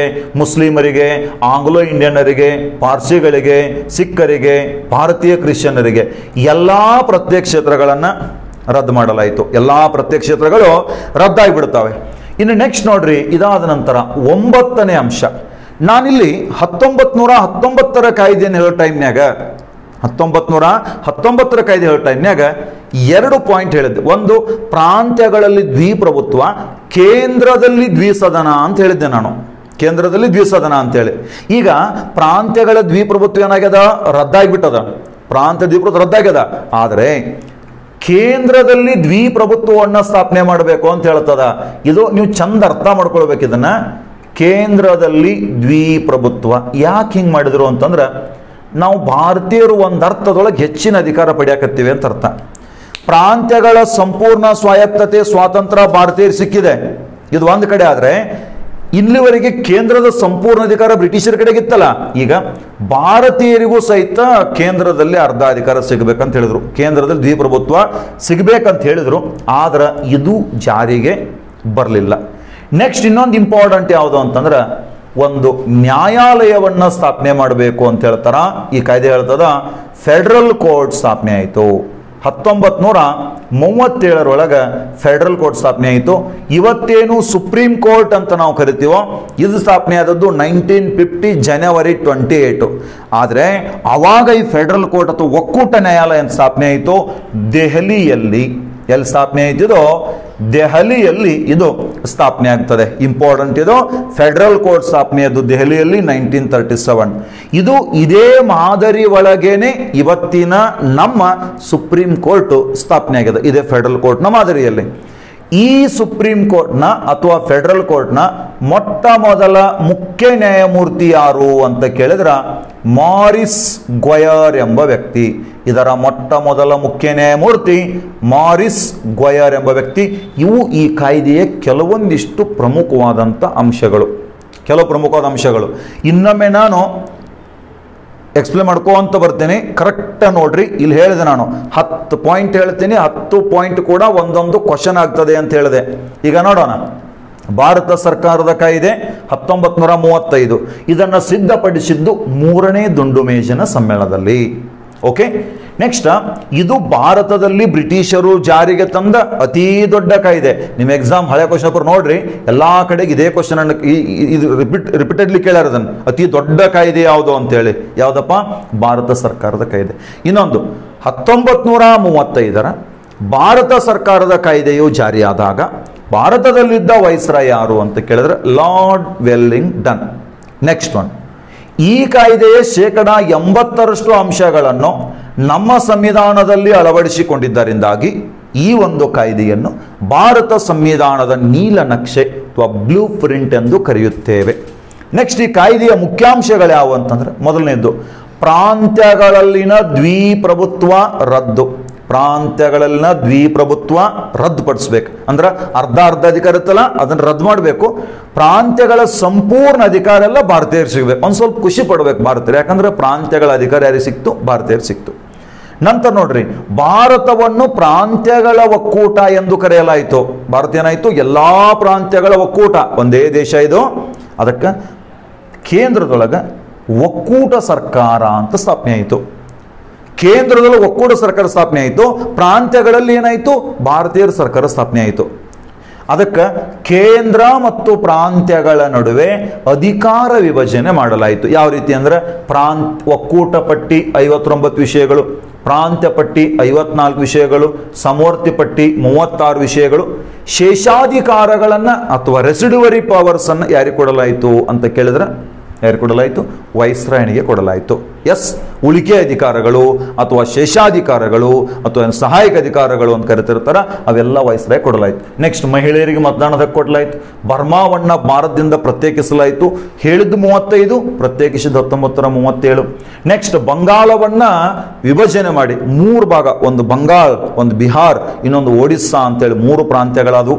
ನೆಕ್ಸ್ಟ್ ಎಲ್ಲ ಪ್ರತ್ಯೇಕ ಚುನಾವಣಾ ಕ್ಷೇತ್ರಗಳು, ಮುಸ್ಲಿಮರು ಆಂಗ್ಲೋ ಇಂಡಿಯನರು ಪಾರ್ಸಿಗಳು, ಕ್ರಿಶ್ಚಿಯನ್ರು, ಅಂದರೆ ಇಂಡಿಯನ್ ಕ್ರಿಶ್ಚಿಯನ್ಸು ಮತ್ತು ಸಿಖ್ರು ಏನು ಪ್ರತ್ಯೇಕ ಚುನಾವಣಾ ಕ್ಷೇತ್ರ ಇದ್ದಲ್ಲ, ಎಲ್ಲ ಚುನಾವಣಾ ಕ್ಷೇತ್ರಗಳನ್ನು ರದ್ದು ಮಾಡಲಾಯಿತು. ಕೇಂದ್ರದಲ್ಲಿ ದ್ವಿಪ್ರಭುತ್ವವನ್ನು ಸ್ಥಾಪನೆ ಮಾಡಬೇಕು. ಕೇಂದ್ರದೊಳಗೂ ಅರ್ಧ ಅಧಿಕಾರ ಭಾರತೀಯರಿಗೆ ಕೊಡಬೇಕು ಅಂತ ಹೇಳಿದ್ರು, ಆದರೆ ಅದು ಜಾರಿಗೆ ಬರಲಿಲ್ಲ. ಅದು ಜಾರಿಗೆ ಬರಲಿಲ್ಲ. ಇನ್ನೊಂದು ಫೆಡರಲ್ ಕೋರ್ಟ್ ಅಂತ ಸ್ಥಾಪನೆ ಆಗ್ತದೆ ಹತ್ತೊಂಬತ್ತರ ಮೂವತ್ತೇಳು ದೆಹಲಿಯಲ್ಲಿ. ಇದರ ಮೊಟ್ಟ ಮೊದಲ ಮುಖ್ಯ ನ್ಯಾಯಮೂರ್ತಿ ಮಾರಿಸ್ ಗ್ವಯರ್ ಮಾರಿಸ್ ಗ್ವಯರ್ ಅಂತಕ್ಕಂಥ ವ್ಯಕ್ತಿ ಇದರ ಮೊಟ್ಟ ಮೊದಲ ಮುಖ್ಯ ನ್ಯಾಯಮೂರ್ತಿ ಆಗಿರ್ತಾರೆ. ಓಕೆ, ಈಗ ಈ ಕಾಯ್ದೆ ಜಾರಿ ಆಯಿತು. ಹತ್ತೊಂಬತ್ತರ ಮೂವತ್ತೈದು. ಆದರೆ ಇದರ ಕಾಯ್ದೆಯ ಬಹುತೇಕ ಅಂಶಗಳೆಲ್ಲವೂ ಜಾರಿಗೆ ಬಂದದ್ದು ಹತ್ತೊಂಬತ್ತು ನೂರ ಮೂವತ್ತೇಳರಲ್ಲಿ. ಭಾರತೀಯರು ಈ ಕಾಯ್ದೆಯನ್ನು ಒಪ್ಕೊಂಡ್ರು, ಆದರೆ ಇದನ್ನು ಟೀಕೆ ಮಾಡಿದರು. ಯಾವ ರೀತಿ ಟೀಕೆ ಮಾಡಿದರು ಅಂತ ನಾವು ನೋಡೋಣ. ಮೊದಲನೇದ್ದು, ಈ ನಮ್ಮ ಜವಾಹರ್ಲಾಲ್ ನೆಹರು ಅವರು. ಜವಾಹರ್ಲಾಲ್ ನೆಹರು. ಜವಾಹರ್ಲಾಲ್ ನೆಹರು ಹೇಳ್ತಾರೆ ಹತ್ತೊಂಬತ್ತು ನೂರ ಮೂವತ್ತೈದರ ಕಾಯ್ದೆಯು ಹತ್ತೊಂಬತ್ತು ನೂರ ಮೂವತ್ತೈದರ ಕಾಯ್ದೆಯು ಬ್ರೆಕ್ಕುಗಳಿರುವ, ಆದರೆ ಎಂಜಿನ್ ಇಲ್ಲದ ವಾಹನ ಅಂತ ಹೇಳ್ತಾರೆ. ಇಂಪಾರ್ಟೆಂಟ್ ನೆನ್ಪಿಟ್ಕೊಡ್ರಿ ಹತ್ತೊಂಬತ್ತು ನೂರ ಮೂವತ್ತೈದರ ಕಾಯ್ದೆಯನ್ನು ಬ್ರೆಕ್ಕುಗಳಿರುವ, ಆದರೆ ಎಂಜಿನ್ ಇಲ್ಲದ ವಾಹನ ಎಂದು ಹೇಳಿದವರು ಯಾರು ಅಂತ ಕೇಳ್ತಾರೆ. ಯಾರು ಹೇಳಿದ್ರು?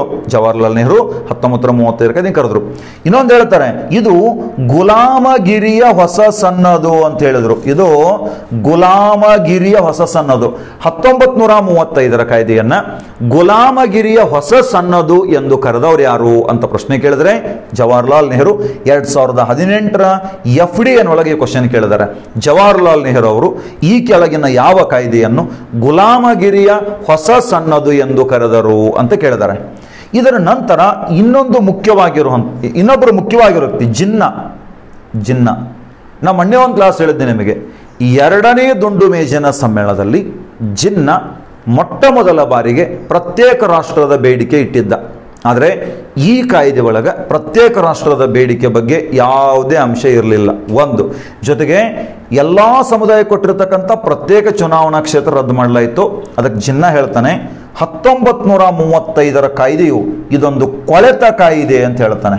ಅಥವಾ ಕೊಳೆತ ರಾಜ್ಯಾಂಗ ಅಂತ ಹೇಳ್ದ. ಕೊಳೆತ ರಾಜ್ಯಾಂಗ ಅಂತ ಹೇಳಿದ್ರೆ ಯಾರು? ಮೊಹಮ್ಮದ್ ಅಲಿ ಜಿನ್ನಾ ಅಂತಕ್ಕಂಥ ವ್ಯಕ್ತಿ. ಇನ್ನೊಬ್ರು ರಾಜಾಜಿ ಅಂತ ಇದ್ದಾರೆ ಚಕ್ರವರ್ತಿ ರಾಜಗೋಪಾಲಾಚಾರಿ. ಚಕ್ರವರ್ತಿ ರಾಜಗೋಪಾಲಚಾರಿ ಚಕ್ರವರ್ತಿ ರಾಜಗೋಪಾಲಾಚಾರಿ ಅವರು ಈ ಕಾಯ್ದೆಯನ್ನ ಹತ್ತೊಂಬತ್ತು ನೂರ ಮೂವತ್ತೈದರ ಕಾಯ್ದೆಯನ್ನ ಡಯಾರ್ಕಿಗಿಂತ ಕೆಟ್ಟದ್ದು ಅಂತ ಹೇಳ್ತಾರೆ. ಡಯಾರ್ಕಿಗಿಂತ ಕೆಟ್ಟದ್ದು. ನಿಮ್ಗೆ ಗೊತ್ತದ? ಡಯಾರ್ಕಿ ಅಂತಂದ್ರೆ ಗೊತ್ತಿದೆ. ಹತ್ತೊಂಬತ್ತು ನೂರ ಜಾರಿ ಬಂದಿತ್ತು ನೋಡ್ರಿ, ಅರ್ಧ. ಅವ್ರಿಗೆ ಅರ್ಧ, ಇವ್ರಿಗೆ ಅರ್ಧ ಅಂತೇಳಿ. ಆ ಒಂದು ಡಯಾರ್ಕಿಗಿಂತ ಈ ಕೆಟ್ಟದ್ದಂತೆ. ಯಾಕೆ ರಾಜಾಜಿ ಟೈಪ್ ಹೇಳಿದ್ರು ಅಂತ ಕೇಳಿದ್ರೆ ಪ್ರಾಂತ್ಯಗಳ ಸಂಪೂರ್ಣ ಅಧಿಕಾರ ನಮಗೆ ಕೊಟ್ಟಾರ. ಅದರ ಪ್ರತಿ ಪ್ರಾಂತ್ಯಕ್ಕೆ ಒಬ್ಬೊಬ್ಬರು ಗವರ್ನರ್ ನೇಮಕ ಮಾಡ್ಯಾರ. ಎಲ್ಲ ಆಡಳಿತ ಗವರ್ನರ್ ಕೈಗಿರ್ತದ ಗವರ್ನರ್ ಎಲ್ಲ ಆಡಳಿತ ಮಾಡಿದಾಗ ಮತ್ತೆ ನಾವೇನ್ ಮಾಡಬೇಕು ಅಂತ ಕೇಳ್ತಾರೆ. ಅದಕ್ಕಿದು ಡಯಾರ್ಗಿಂತ ಕೆಟ್ಟದ್ದು ಅಂತ ರಾಜಾಜಿ ಹೇಳಿದ್ರು. ಈ ಮೂರು ಅಭಿ, ನಾಲ್ಕು ಅಭಿಪ್ರಾಯಗಳು ಬಹಳ ಇಂಪಾರ್ಟೆಂಟ್ ಆದ್ರೆ ಈ ಮೂರು ಜನ ನಾಯಕರು ಹೇಳಿದ್ದೇನಪ್ಪ ಅಂದ್ರೆ, ಆದರೂ ನಾವು ಈ ಕಾಯ್ದೆಯನ್ನು ಒಪ್ಪಿಕೊಳ್ಳುತ್ತೇವೆ. ಯಾಕೆ ಅಂತಂದ್ರೆ, ಇಲ್ಲಿವರೆಗೆ ಇಷ್ಟೊಂದು ಅಧಿಕಾರಗಳು ಭಾರತೀಯರಿಗೆ ಸಿಕ್ಕಿರಲಿಲ್ಲ.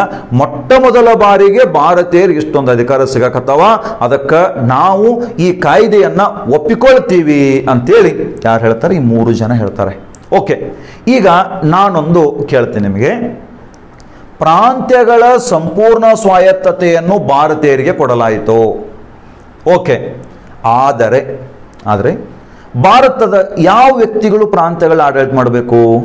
ಪ್ರಾಂತ್ಯಗಳು ಯಾರು ಆಡಳಿತ ಮಾಡಬೇಕಂತ ಸಮಸ್ಯೆ ಬಂದಾಗ ಈ ಕಾಯ್ದೆನ ಹೇಳಿತ್ತು ಭಾರತದಲ್ಲಿದ್ದ ಹನ್ನೊಂದು ಪ್ರಾಂತ್ಯಗಳಿಗೆ ವಿಧಾನಸಭಾ ಚುನಾವಣೆಯನ್ನು ನಡೆಸಿ, ಚುನಾವಣೆಯಲ್ಲಿ ಗೆದ್ದವರು ಪ್ರಾಂತ್ಯಾಡಳಿತವನ್ನು ನೋಡ್ಕೊಳ್ಬೇಕು ಅಂತೇಳಿ ಈ ಕಾಯ್ದೆ ಹೇಳಿರ್ತದೆ. ಚುನಾವಣೆಯಲ್ಲಿ ಗೆದ್ದವರು ಪ್ರಾಂತ್ಯಾಡಳಿತವನ್ನು ನೋಡ್ಕೊಳ್ಬೇಕು ಅಂತೇಳಿ ಈ ಕಾಯ್ದೆ ಹೇಳಿತ್ತು. ಯಾವ ಕಾಯ್ದೆ ಹೇಳಿತ್ತು? ಹತ್ತೊಂಬತ್ತು ನೂರ ಮೂವತ್ತೈದರ ಕಾಯ್ದೆ. ಹತ್ತೊಂಬತ್ತು ನೂರ ಮೂವತ್ತೈದರ ಕಾಯ್ದೆ ಹೇಳಿದ ಹಾಗೆ ಹತ್ತೊಂಬತ್ತು ನೂರ ಮೂವತ್ತೇಳರ ಫೆಬ್ರವರಿನಲ್ಲಿ ಮೊಟ್ಟ ಮೊದಲ ಬಾರಿಗೆ ಪ್ರಾಂತೀಯ ವಿಧಾನಸಭಾ ಚುನಾವಣೆಗಳು ನಡೆದವು.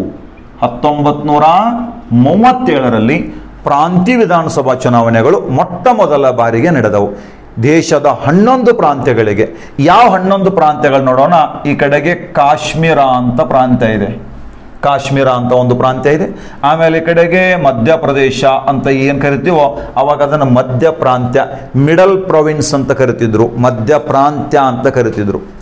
ಈ ಕಡೆಗೆ ಯು ಪಿ ಅಂತ ಇದೆ.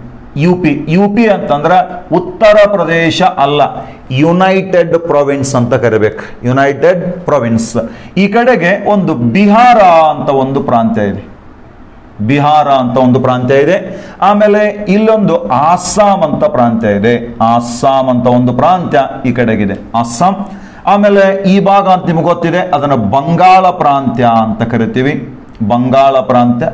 ಈ ಕಡೆಗೆ ಒಡಿಸ್ಸಾ ಅಂತ ಒಂದು ಪ್ರಾಂತ್ಯ ಇದೆ. ಎಲ್ಲ ಚೆನ್ನಾಗಿ ನೋಡ್ಕೊಳ್ರಿ. ಒಟ್ಟು ನಾನು ಹೇಳಿದೆ, ಹನ್ನೊಂದು ಪ್ರಾಂತ್ಯಗಳದಾವ ಅಂತ ಹೇಳಿದೆ. ಇದು ಒಡಿಸ್ಸಾ ಆಮೇಲೆ ಈ ಕಡೆಗೆ ಮದ್ರಾಸ್ ಅಂತ ಒಂದು ಪ್ರಾಂತ್ಯ ಬರ್ತದೆ ಕಡೆಗೆ ಮದ್ರಾಸ್ ಅಂತ ಒಂದು ಪ್ರಾಂತ್ಯ ಇದೆ. ಆಮೇಲೆ ಈ ಕಡೆಗೆ ಬಾಂಬೆ ಅಂತ ಪ್ರಾಂತ್ಯ ಇದೆ. ಬಾಂಬೆ ಪ್ರಾಂತ್ಯ ಇದೆ. ಈ ಪ್ರದೇಶ ಐತೆ ನೋಡ್ರಿ ಇದು. ಇದನ್ನ ಈ ಕಡೆಗೆ ಸಿಂಧ್ ಅಂತ ಕರಿತಿದ್ರು. ಇಲ್ಲಿ ನಾನು ಸ್ಟಾರ್ ಮಾರ್ಕ್ ಹಾಕಿನಿ. ಈ ಕಡೆ ಬರ್ತೀನಿ ಅದನ್ನ. ಸಿಂಧ್ ಅಂತ ಒಂದು ಪ್ರಾಂತ್ಯ ಇದೆ. ಆಮೇಲೆ ಈ ಪ್ರದೇಶ ಐತೆ ನೋಡ್ರಿ ಇದು. ಇದು ಪಂಜಾಬ. ಇದು ಪಂಜಾಬ. ನೋಡೋಣ. ಇದು ಒಂದು, ಇದು ಎರಡು, ಮೂರು, ನಾಲ್ಕು, ಐದು, ಆರು, ಏಳು, ಎಂಟು, ಒಂಬತ್ತು, ಹತ್ತು, ಹನ್ನೊಂದು. ಹನ್ನೊಂದು ಪ್ರಾಂತ್ಯಗಳಿಗೆ ಹತ್ತೊಂಬತ್ತು ನೂರ ಮೂವತ್ತೇಳರ ಫೆಬ್ರವರಿಯಲ್ಲಿ ಮೊಟ್ಟ ಮೊದಲ ಬಾರಿಗೆ ಚುನಾವಣೆ ನಡೆಯಿತು. ವಿಧಾನಸಭಾ ಚುನಾವಣೆ. ಅಂದ್ರೆ ಈ ಎಲ್ಲಾ ಪ್ರಾಂತ್ಯಗಳಿಗಿನ್ನು ಭಾರತೀಯರು ಆಡಳಿತ ಮಾಡಬೇಕಿನ್ಮೇಲೆ. ಓಕೆ, ಈಗ ನಾವು ನೋಡೋಣ. ಇಲ್ಲೊಂದು ಬಂಗಾಳ ಅಂತ ಒಂದು ಐತೆ ನೋಡ್ರಿ, ಬಂಗಾಳ ಪ್ರಾಂತ್ಯ ಅಂತಿದೆ. ಈ ಬಂಗಾಳ ಪ್ರಾಂತ್ಯದಲ್ಲಿ ಒಂದು ಹೊಸ ಪಕ್ಷ ಬರ್ತದ, ಕೃಷಕ ಪ್ರಜಾಪಕ್ಷ ಅಂತ ಅಧಿಕಾರಕ್ಕೆ ಬಂದಿತ್ತು. ಯಾವ ಪಕ್ಷ? ಕೃಷಕ ಪ್ರಜಾಪಕ್ಷ ಅಂತ ಅಧಿಕಾರಕ್ಕೆ ಬಂದಿತ್ತು. ನೆನಪಿರಲಿ ಹತ್ತೊಂಬತ್ತು ನೂರ ಮೂವತ್ತೇಳರ ಚುನಾವಣೆಯಲ್ಲಿ ಬಂಗಾಳದಲ್ಲಿ ಅಧಿಕಾರಕ್ಕೆ ಬಂದಂಥ ಪಕ್ಷ ಯಾವುದು ಅಂತ ಕೇಳಿದ್ರೆ ಕೃಷಕ ಪ್ರಜಾಪಕ್ಷ, ಅದರ ಸ್ಥಾಪಕ ಫಜಲ್ ಉಲ್ ಹಕ್. ನೆಕ್ಸ್ಟ್ ಇಲ್ಲೊಂದು ಪಂಜಾಬ್ ಅಂತಿದೆ. ಪಂಜಾಬಿನೊಳಗೆ ಆಡಳಿತಕ್ಕೆ ಬಂದದ್ದು ಯೂನಿಯನಿಸ್ಟ್ ಪಾರ್ಟಿ ಅಂತೇಳಿ. ಪಂಜಾಬಿನಲ್ಲಿ ಆಡಳಿತಕ್ಕೆ ಬಂದದ್ದು ಯೂನಿಯನಿಸ್ಟ್ ಪಾರ್ಟಿ ಅಂತ ಆಡಳಿತಕ್ಕೆ ಬರ್ತದೆ. ಈ ಯೂನಿಯನಿಸ್ಟ್ ಪಕ್ಷದ ಸ್ಥಾಪಕ ಸಿಕಂದರ್ ಹಯಾತ್ ಖಾನ್, ಸಿಕಂದರ್ ಹಯಾತ್ ಖಾನ್ ಅಂತ ವ್ಯಕ್ತಿ. ನೆಕ್ಸ್ಟ್ ಇಲ್ಲಿ ಆಸಾಂ ಐತ್ ನೋಡಿ. ಆಸಾಂನಲ್ಲಿ ಕಾಂಗ್ರೆಸ್ನವರಿಗೂ ಸಹಿತ ಮೆಜಾರಿಟಿ ಸಿಗಲಿಲ್ಲ. ಮುಸ್ಲಿಂ ಲೀಗ್ನವರಿಗೆ ಮೆಜಾರಿಟಿ ಇರಲಿಲ್ಲ. ಆಸಾಂ ಪ್ರಾಂತ್ಯದೊಳಗೆ ಕಾಂಗ್ರೆಸ್ ಮತ್ತು ಮುಸ್ಲಿಂ ಲೀಗ್ ಸೇರಿ ಒಂದು ಸಮ್ಮಿಶ್ರ ಸರ್ಕಾರವನ್ನ ರಚನೆ ಮಾಡ್ಕೊಳ್ತವೆ. ಸಮ್ಮಿಶ್ರ ಸರ್ಕಾರ ರಚನೆ ಆಯಿತು ಅಸ್ಸಾಂನಲ್ಲಿ. ಇಲ್ಲಿ ಸಿಂಧ್ ಪ್ರಾಂತ್ಯದಲ್ಲೂ ಸಹಿತ ಕಾಂಗ್ರೆಸ್ ಮತ್ತು ಮುಸ್ಲಿಂ ಲೀಗ್ ಯಾರಿಗೂ ಬಹುಮತ ಸಿಗಲಿಲ್ಲ ಅನ್ನೋ ಕಾರಣಕ್ಕಾಗಿ ಈ ಸಿಂಧ್ ಪ್ರಾಂತ್ಯದೊಳಗೂ ಸಹಿತ ಸಮ್ಮಿಶ್ರ ಸರ್ಕಾರ ರಚನೆ ಆಯಿತು. ಸಿಂಧ್ ಪ್ರಾಂತ್ಯದಲ್ಲೂ ಸಹಿತ ಸಮ್ಮಿಶ್ರ ಸರ್ಕಾರ ರಚನೆ ಆಗ್ಯದ. ಎಲ್ಲಿದು? ಸಿಂಧ್ನಲ್ಲಿ ಮತ್ತು ಅಸ್ಸಾಂನಲ್ಲಿ. ಟೋಟಲ್ ಹನ್ನೊಂದು ಪ್ರಾಂತ್ಯಗಳದ ಈ ಹನ್ನೊಂದು ಪ್ರಾಂತ್ಯಗಳಲ್ಲಿ ಬಂಗಾಳದಲ್ಲಿ ಕೃಷಕ ಪ್ರಜಾ ಪಕ್ಷ ಪಂಜಾಬಿನಲ್ಲಿ ಯೂನಿಯನಿಸ್ಟ್ ಪಕ್ಷ, ಸಿಂಧ್ ಮತ್ತು ಅಸ್ಸಾಂನಲ್ಲಿ ಸಮ್ಮಿಶ್ರ ಸರ್ಕಾರ. ಇನ್ನು ಏಳು ಪ್ರಾಂತ್ಯ ಉಳ್ಕೊಂಡ ನೋಡ್ರಿ, ಆ ಏಳು ಪ್ರಾಂತ್ಯದಲ್ಲಿ ಕಾಂಗ್ರೆಸ್ ಸ್ವಂತ ಬಲದ ಮೇಲೆ ಅಧಿಕಾರಕ್ಕೆ ಬಂದಿತ್ತು. ಆ ಏಳು ಪ್ರಾಂತ್ಯಗಳಲ್ಲಿ ಕಾಂಗ್ರೆಸ್ ಸ್ವಂತ ಬಲದ ಮೇಲೆ ಅಧಿಕಾರಕ್ಕೆ ಬರ್ತದೆ ಇಂಪಾರ್ಟೆಂಟ್ ಏಳು ಪ್ರಾಂತ್ಯಗಳಲ್ಲಿ ಅವು ಏಳು ಯಾವ ಅಂತಂದ್ರೆ ಜಮ್ಮು ಕಾಶ್ಮೀರ ಸಂಯುಕ್ತ ಪ್ರಾಂತ್ಯ, ಬಿಹಾರ, ಮಧ್ಯ ಪ್ರಾಂತ್ಯ, ಒಡಿಸ್ಸಾ, ಮದ್ರಾಸ್, ಬಾಂಬೆ, ಇಲ್ಲೆಲ್ಲ ಕಡೆಗೆ ಕಾಂಗ್ರೆಸ್ ಸ್ವಂತ ಬಲದ ಮೇಲೆ ಅಧಿಕಾರಕ್ಕೆ ಬರ್ತದೆ. ಓಕೆ ಹತ್ತೊಂಬತ್ ನೂರ ಮೂವತ್ತೇಳರಲ್ಲಿ ಎಲ್ಲ ಕಡೆಗೆ ಸರ್ಕಾರ ರಚನೆ ಆಗ್ಯಾವ. ಭಾರತೀಯರ ಆಡಳಿತ ಇದೆ. ಭಾರತೀಯರಿಗೆ ಅಧಿಕಾರವನ್ನು ಕೊಟ್ಟಾರ ಬ್ರಿಟಿಷರು. ಸರ್ಕಾರ ರಚನೆ ಆಗಿ ಭಾರತೀಯರ ಆಡಳಿತ ಮಾಡ್ತಾ ಇದ್ದಾರೆ. ಆದರೆ ಹತ್ತೊಂಬತ್ ನೂರ ಮೂವತ್ತೊಂಬತ್ತರ ನವೆಂಬರ್ ಒಂದನೇ ತಾರೀಕಿಗೆ ಇದು ಡೇಟ್ ಇಂಪಾರ್ಟೆಂಟ್. ನಾನು ಹಳೆ ಕ್ವಶನ್ ಪೇಪರ್ಸ್ ಅನ್ನ ಬಿಡಿಸಿದ್ರ ಪ್ರಕಾರ ಏಳೆಂಟು ಸಾರಿ ಕ್ವಶನ್ ಕೇಳಿದಾರೆ ಅದನ್ನ. ನೆನಪಿರಲಿ? ಹತ್ತೊಂಬತ್ ನೂರ ಮೂವತ್ತೊಂಬತ್ತು ನವಂಬರ್ ಒಂದು ಈ ತಾರೀಕಿಗೆ ಎಲ್ಲೆಲ್ಲಿ ಕಾಂಗ್ರೆಸ್ ಆಡಳಿತದಲ್ಲಿ ಇತ್ತೋ ಅಲ್ಲೆಲ್ಲ ಕಡೆಗೆ ರಾಜೀನಾಮೆ ನೀಡಿದರು. ಕಾಂಗ್ರೆಸ್ ಆಡಳಿತದಲ್ಲಿ ತಲ್ಲಕ್ಕೆ ರಾಜೀನಾಮೆ ನೀಡಿದ್ರು. ಯಾಕೆ? ಇದನ್ನ ಕ್ವಶನ್ ಕೇಳೋದು. ಹತ್ತೊಂಬತ್ತು ನೂರ ಮೂವತ್ತೊಂಬತ್ತು ನವೆಂಬರ್ ಒಂದನೇ ತಾರೀಕಿಗೆ ಎಲ್ಲ ಪ್ರಾಂತ್ಯ ವಿಧಾನಸಭಾ ಮಂತ್ರಿಮಂಡಲಗಳಿಗೆ ಕಾಂಗ್ರೆಸ್ ರಾಜೀನಾಮೆ ನೀಡಲು ಕಾರಣವೇನು ಅಂತ ಪ್ರಶ್ನೆ ಕೇಳಿದ್ರೆ ಒಂದೇ ಕಾರಣ, ಇಲ್ಲೊಬ್ಬ ವಯಸ್ಸರ ಇದ್ದ, ಲೀನ್ ಲೀತ್ ಗೋ ಅಂತೇಳಿ. ಲೀನ್ ಲೀತ್ ಗೋ ಅಂತ ಇರ್ತಾನೆ ಲೀನ್ ಲೀತ್. ಈ ಲೀನ್ ಲೀತ್ ಗೋ ಅಂತಕ್ಕಂಥ ವೈಸ್ರಾಯ್ ಹತ್ತೊಂಬತ್ ನೂರ ಮೂವತ್ತೊಂಬತ್ತರಲ್ಲಿ ಎರಡನೇ ಮಹಾಯುದ್ಧ ಆರಂಭವಾದಾಗ ಇಲ್ಲಿನ ಪ್ರಾಂತೀಯ ಸರ್ಕಾರಗಳ ಅನುಮತಿ ಇಲ್ಲದೆ ಭಾರತೀಯ ಸೈನ್ಯವನ್ನು ಎರಡನೇ ಮಹಾಯುದ್ಧದಲ್ಲಿ ಬಳಸಿಕೊಂಡಿದ್ದು, ಇಲ್ಲಿ ಕಾಂಗ್ರೆಸ್ ತನ್ನೆಲ್ಲ ಮಂತ್ರಿಮಂಡಲಗಳಿಗೆ ರಾಜೀನಾಮೆ ನೀಡಲು ಕಾರಣವಾಗಿತ್ತು. ಇಷ್ಟೇ ಕಾರಣ. ನೆನಪಿರಲಿ, ಎರಡನೇ ಮಹಾಯುದ್ಧದಲ್ಲಿ ಭಾರತೀಯ ಸೈನ್ಯವನ್ನು, ಎರಡನೇ ಮಹಾಯುದ್ಧದಲ್ಲಿ ಭಾರತೀಯ ಸೈನ್ಯವನ್ನು ಭಾರತೀಯರ ಒಪ್ಪಿಗೆ ಇಲ್ಲದೆ ಪಡೆದುಕೊಂಡದ್ದಕ್ಕಾಗಿ, ಭಾರತೀಯರ ಒಪ್ಪಿಗೆ ಇಲ್ಲದೆ ಪಡೆದುಕೊಂಡದ್ದಕ್ಕೆ ಬಳಸ್ಕೊಂಡದ್ದಕ್ಕಾಗಿ ಎಲ್ಲ ಕಾಂಗ್ರೆಸ್ಸಿಗೆ ರಾಜೀನಾಮೆ ನೀಡಿದರು. ಹತ್ತೊಂಬತ್ ನೂರ ಮೂವತ್ತೊಂಬತ್ತರ ನವಂಬರ್ ಒಂದನೇ ತಾರೀಕು ಕಾಂಗ್ರೆಸ್ಸಿಗೆ ರಾಜೀನಾಮೆ ನೀಡಿದರು. ಡಿಸೆಂಬರ್ ಇಪ್ಪತ್ತೆರಡನೇ ತಾರೀಕಿಗೆ ಆ ಎಲ್ಲ ರಾಜೀನಾಮೆ ಅಂಗೀಕಾರ ಅದು ನೋಡ್ರಿ, ಸಾಮಾನ್ಯವಾಗಿ ಸರ್ಕಾರ ಬಿದ್ದು ಹೋದಾಗ ವಿರೋಧ ಪಕ್ಷಕ್ಕೆ ಖುಷಿ ಆಗ್ತದೆ ಇಲ್ಲೆಲ್ಲ ವಿರೋಧ ಪಕ್ಷ ಇದ್ದದ್ದು ಮುಸ್ಲಿಂ ಲೀಗ್. ಅದಕ್ಕಾಗಿ ಹತ್ತೊಂಬತ್ ನೂರ ಮೂವತ್ತೊಂಬತ್ತರ ಡಿಸೆಂಬರ್ ಇಪ್ಪತ್ತೆರಡನೇ ತಾರೀಕಿಗೆ ಮುಸ್ಲಿಂ ಲೀಗ್ ವಿಮೋಚನಾ ದಿನ ಅಂತ ಆಚರಣೆ ಮಾಡ್ತದ. ವಿಮೋಚನಾ ದಿನ. ಇದು ಕೂಡ ಪ್ರಶ್ನೆ ಕೇಳ್ತಾರೆ.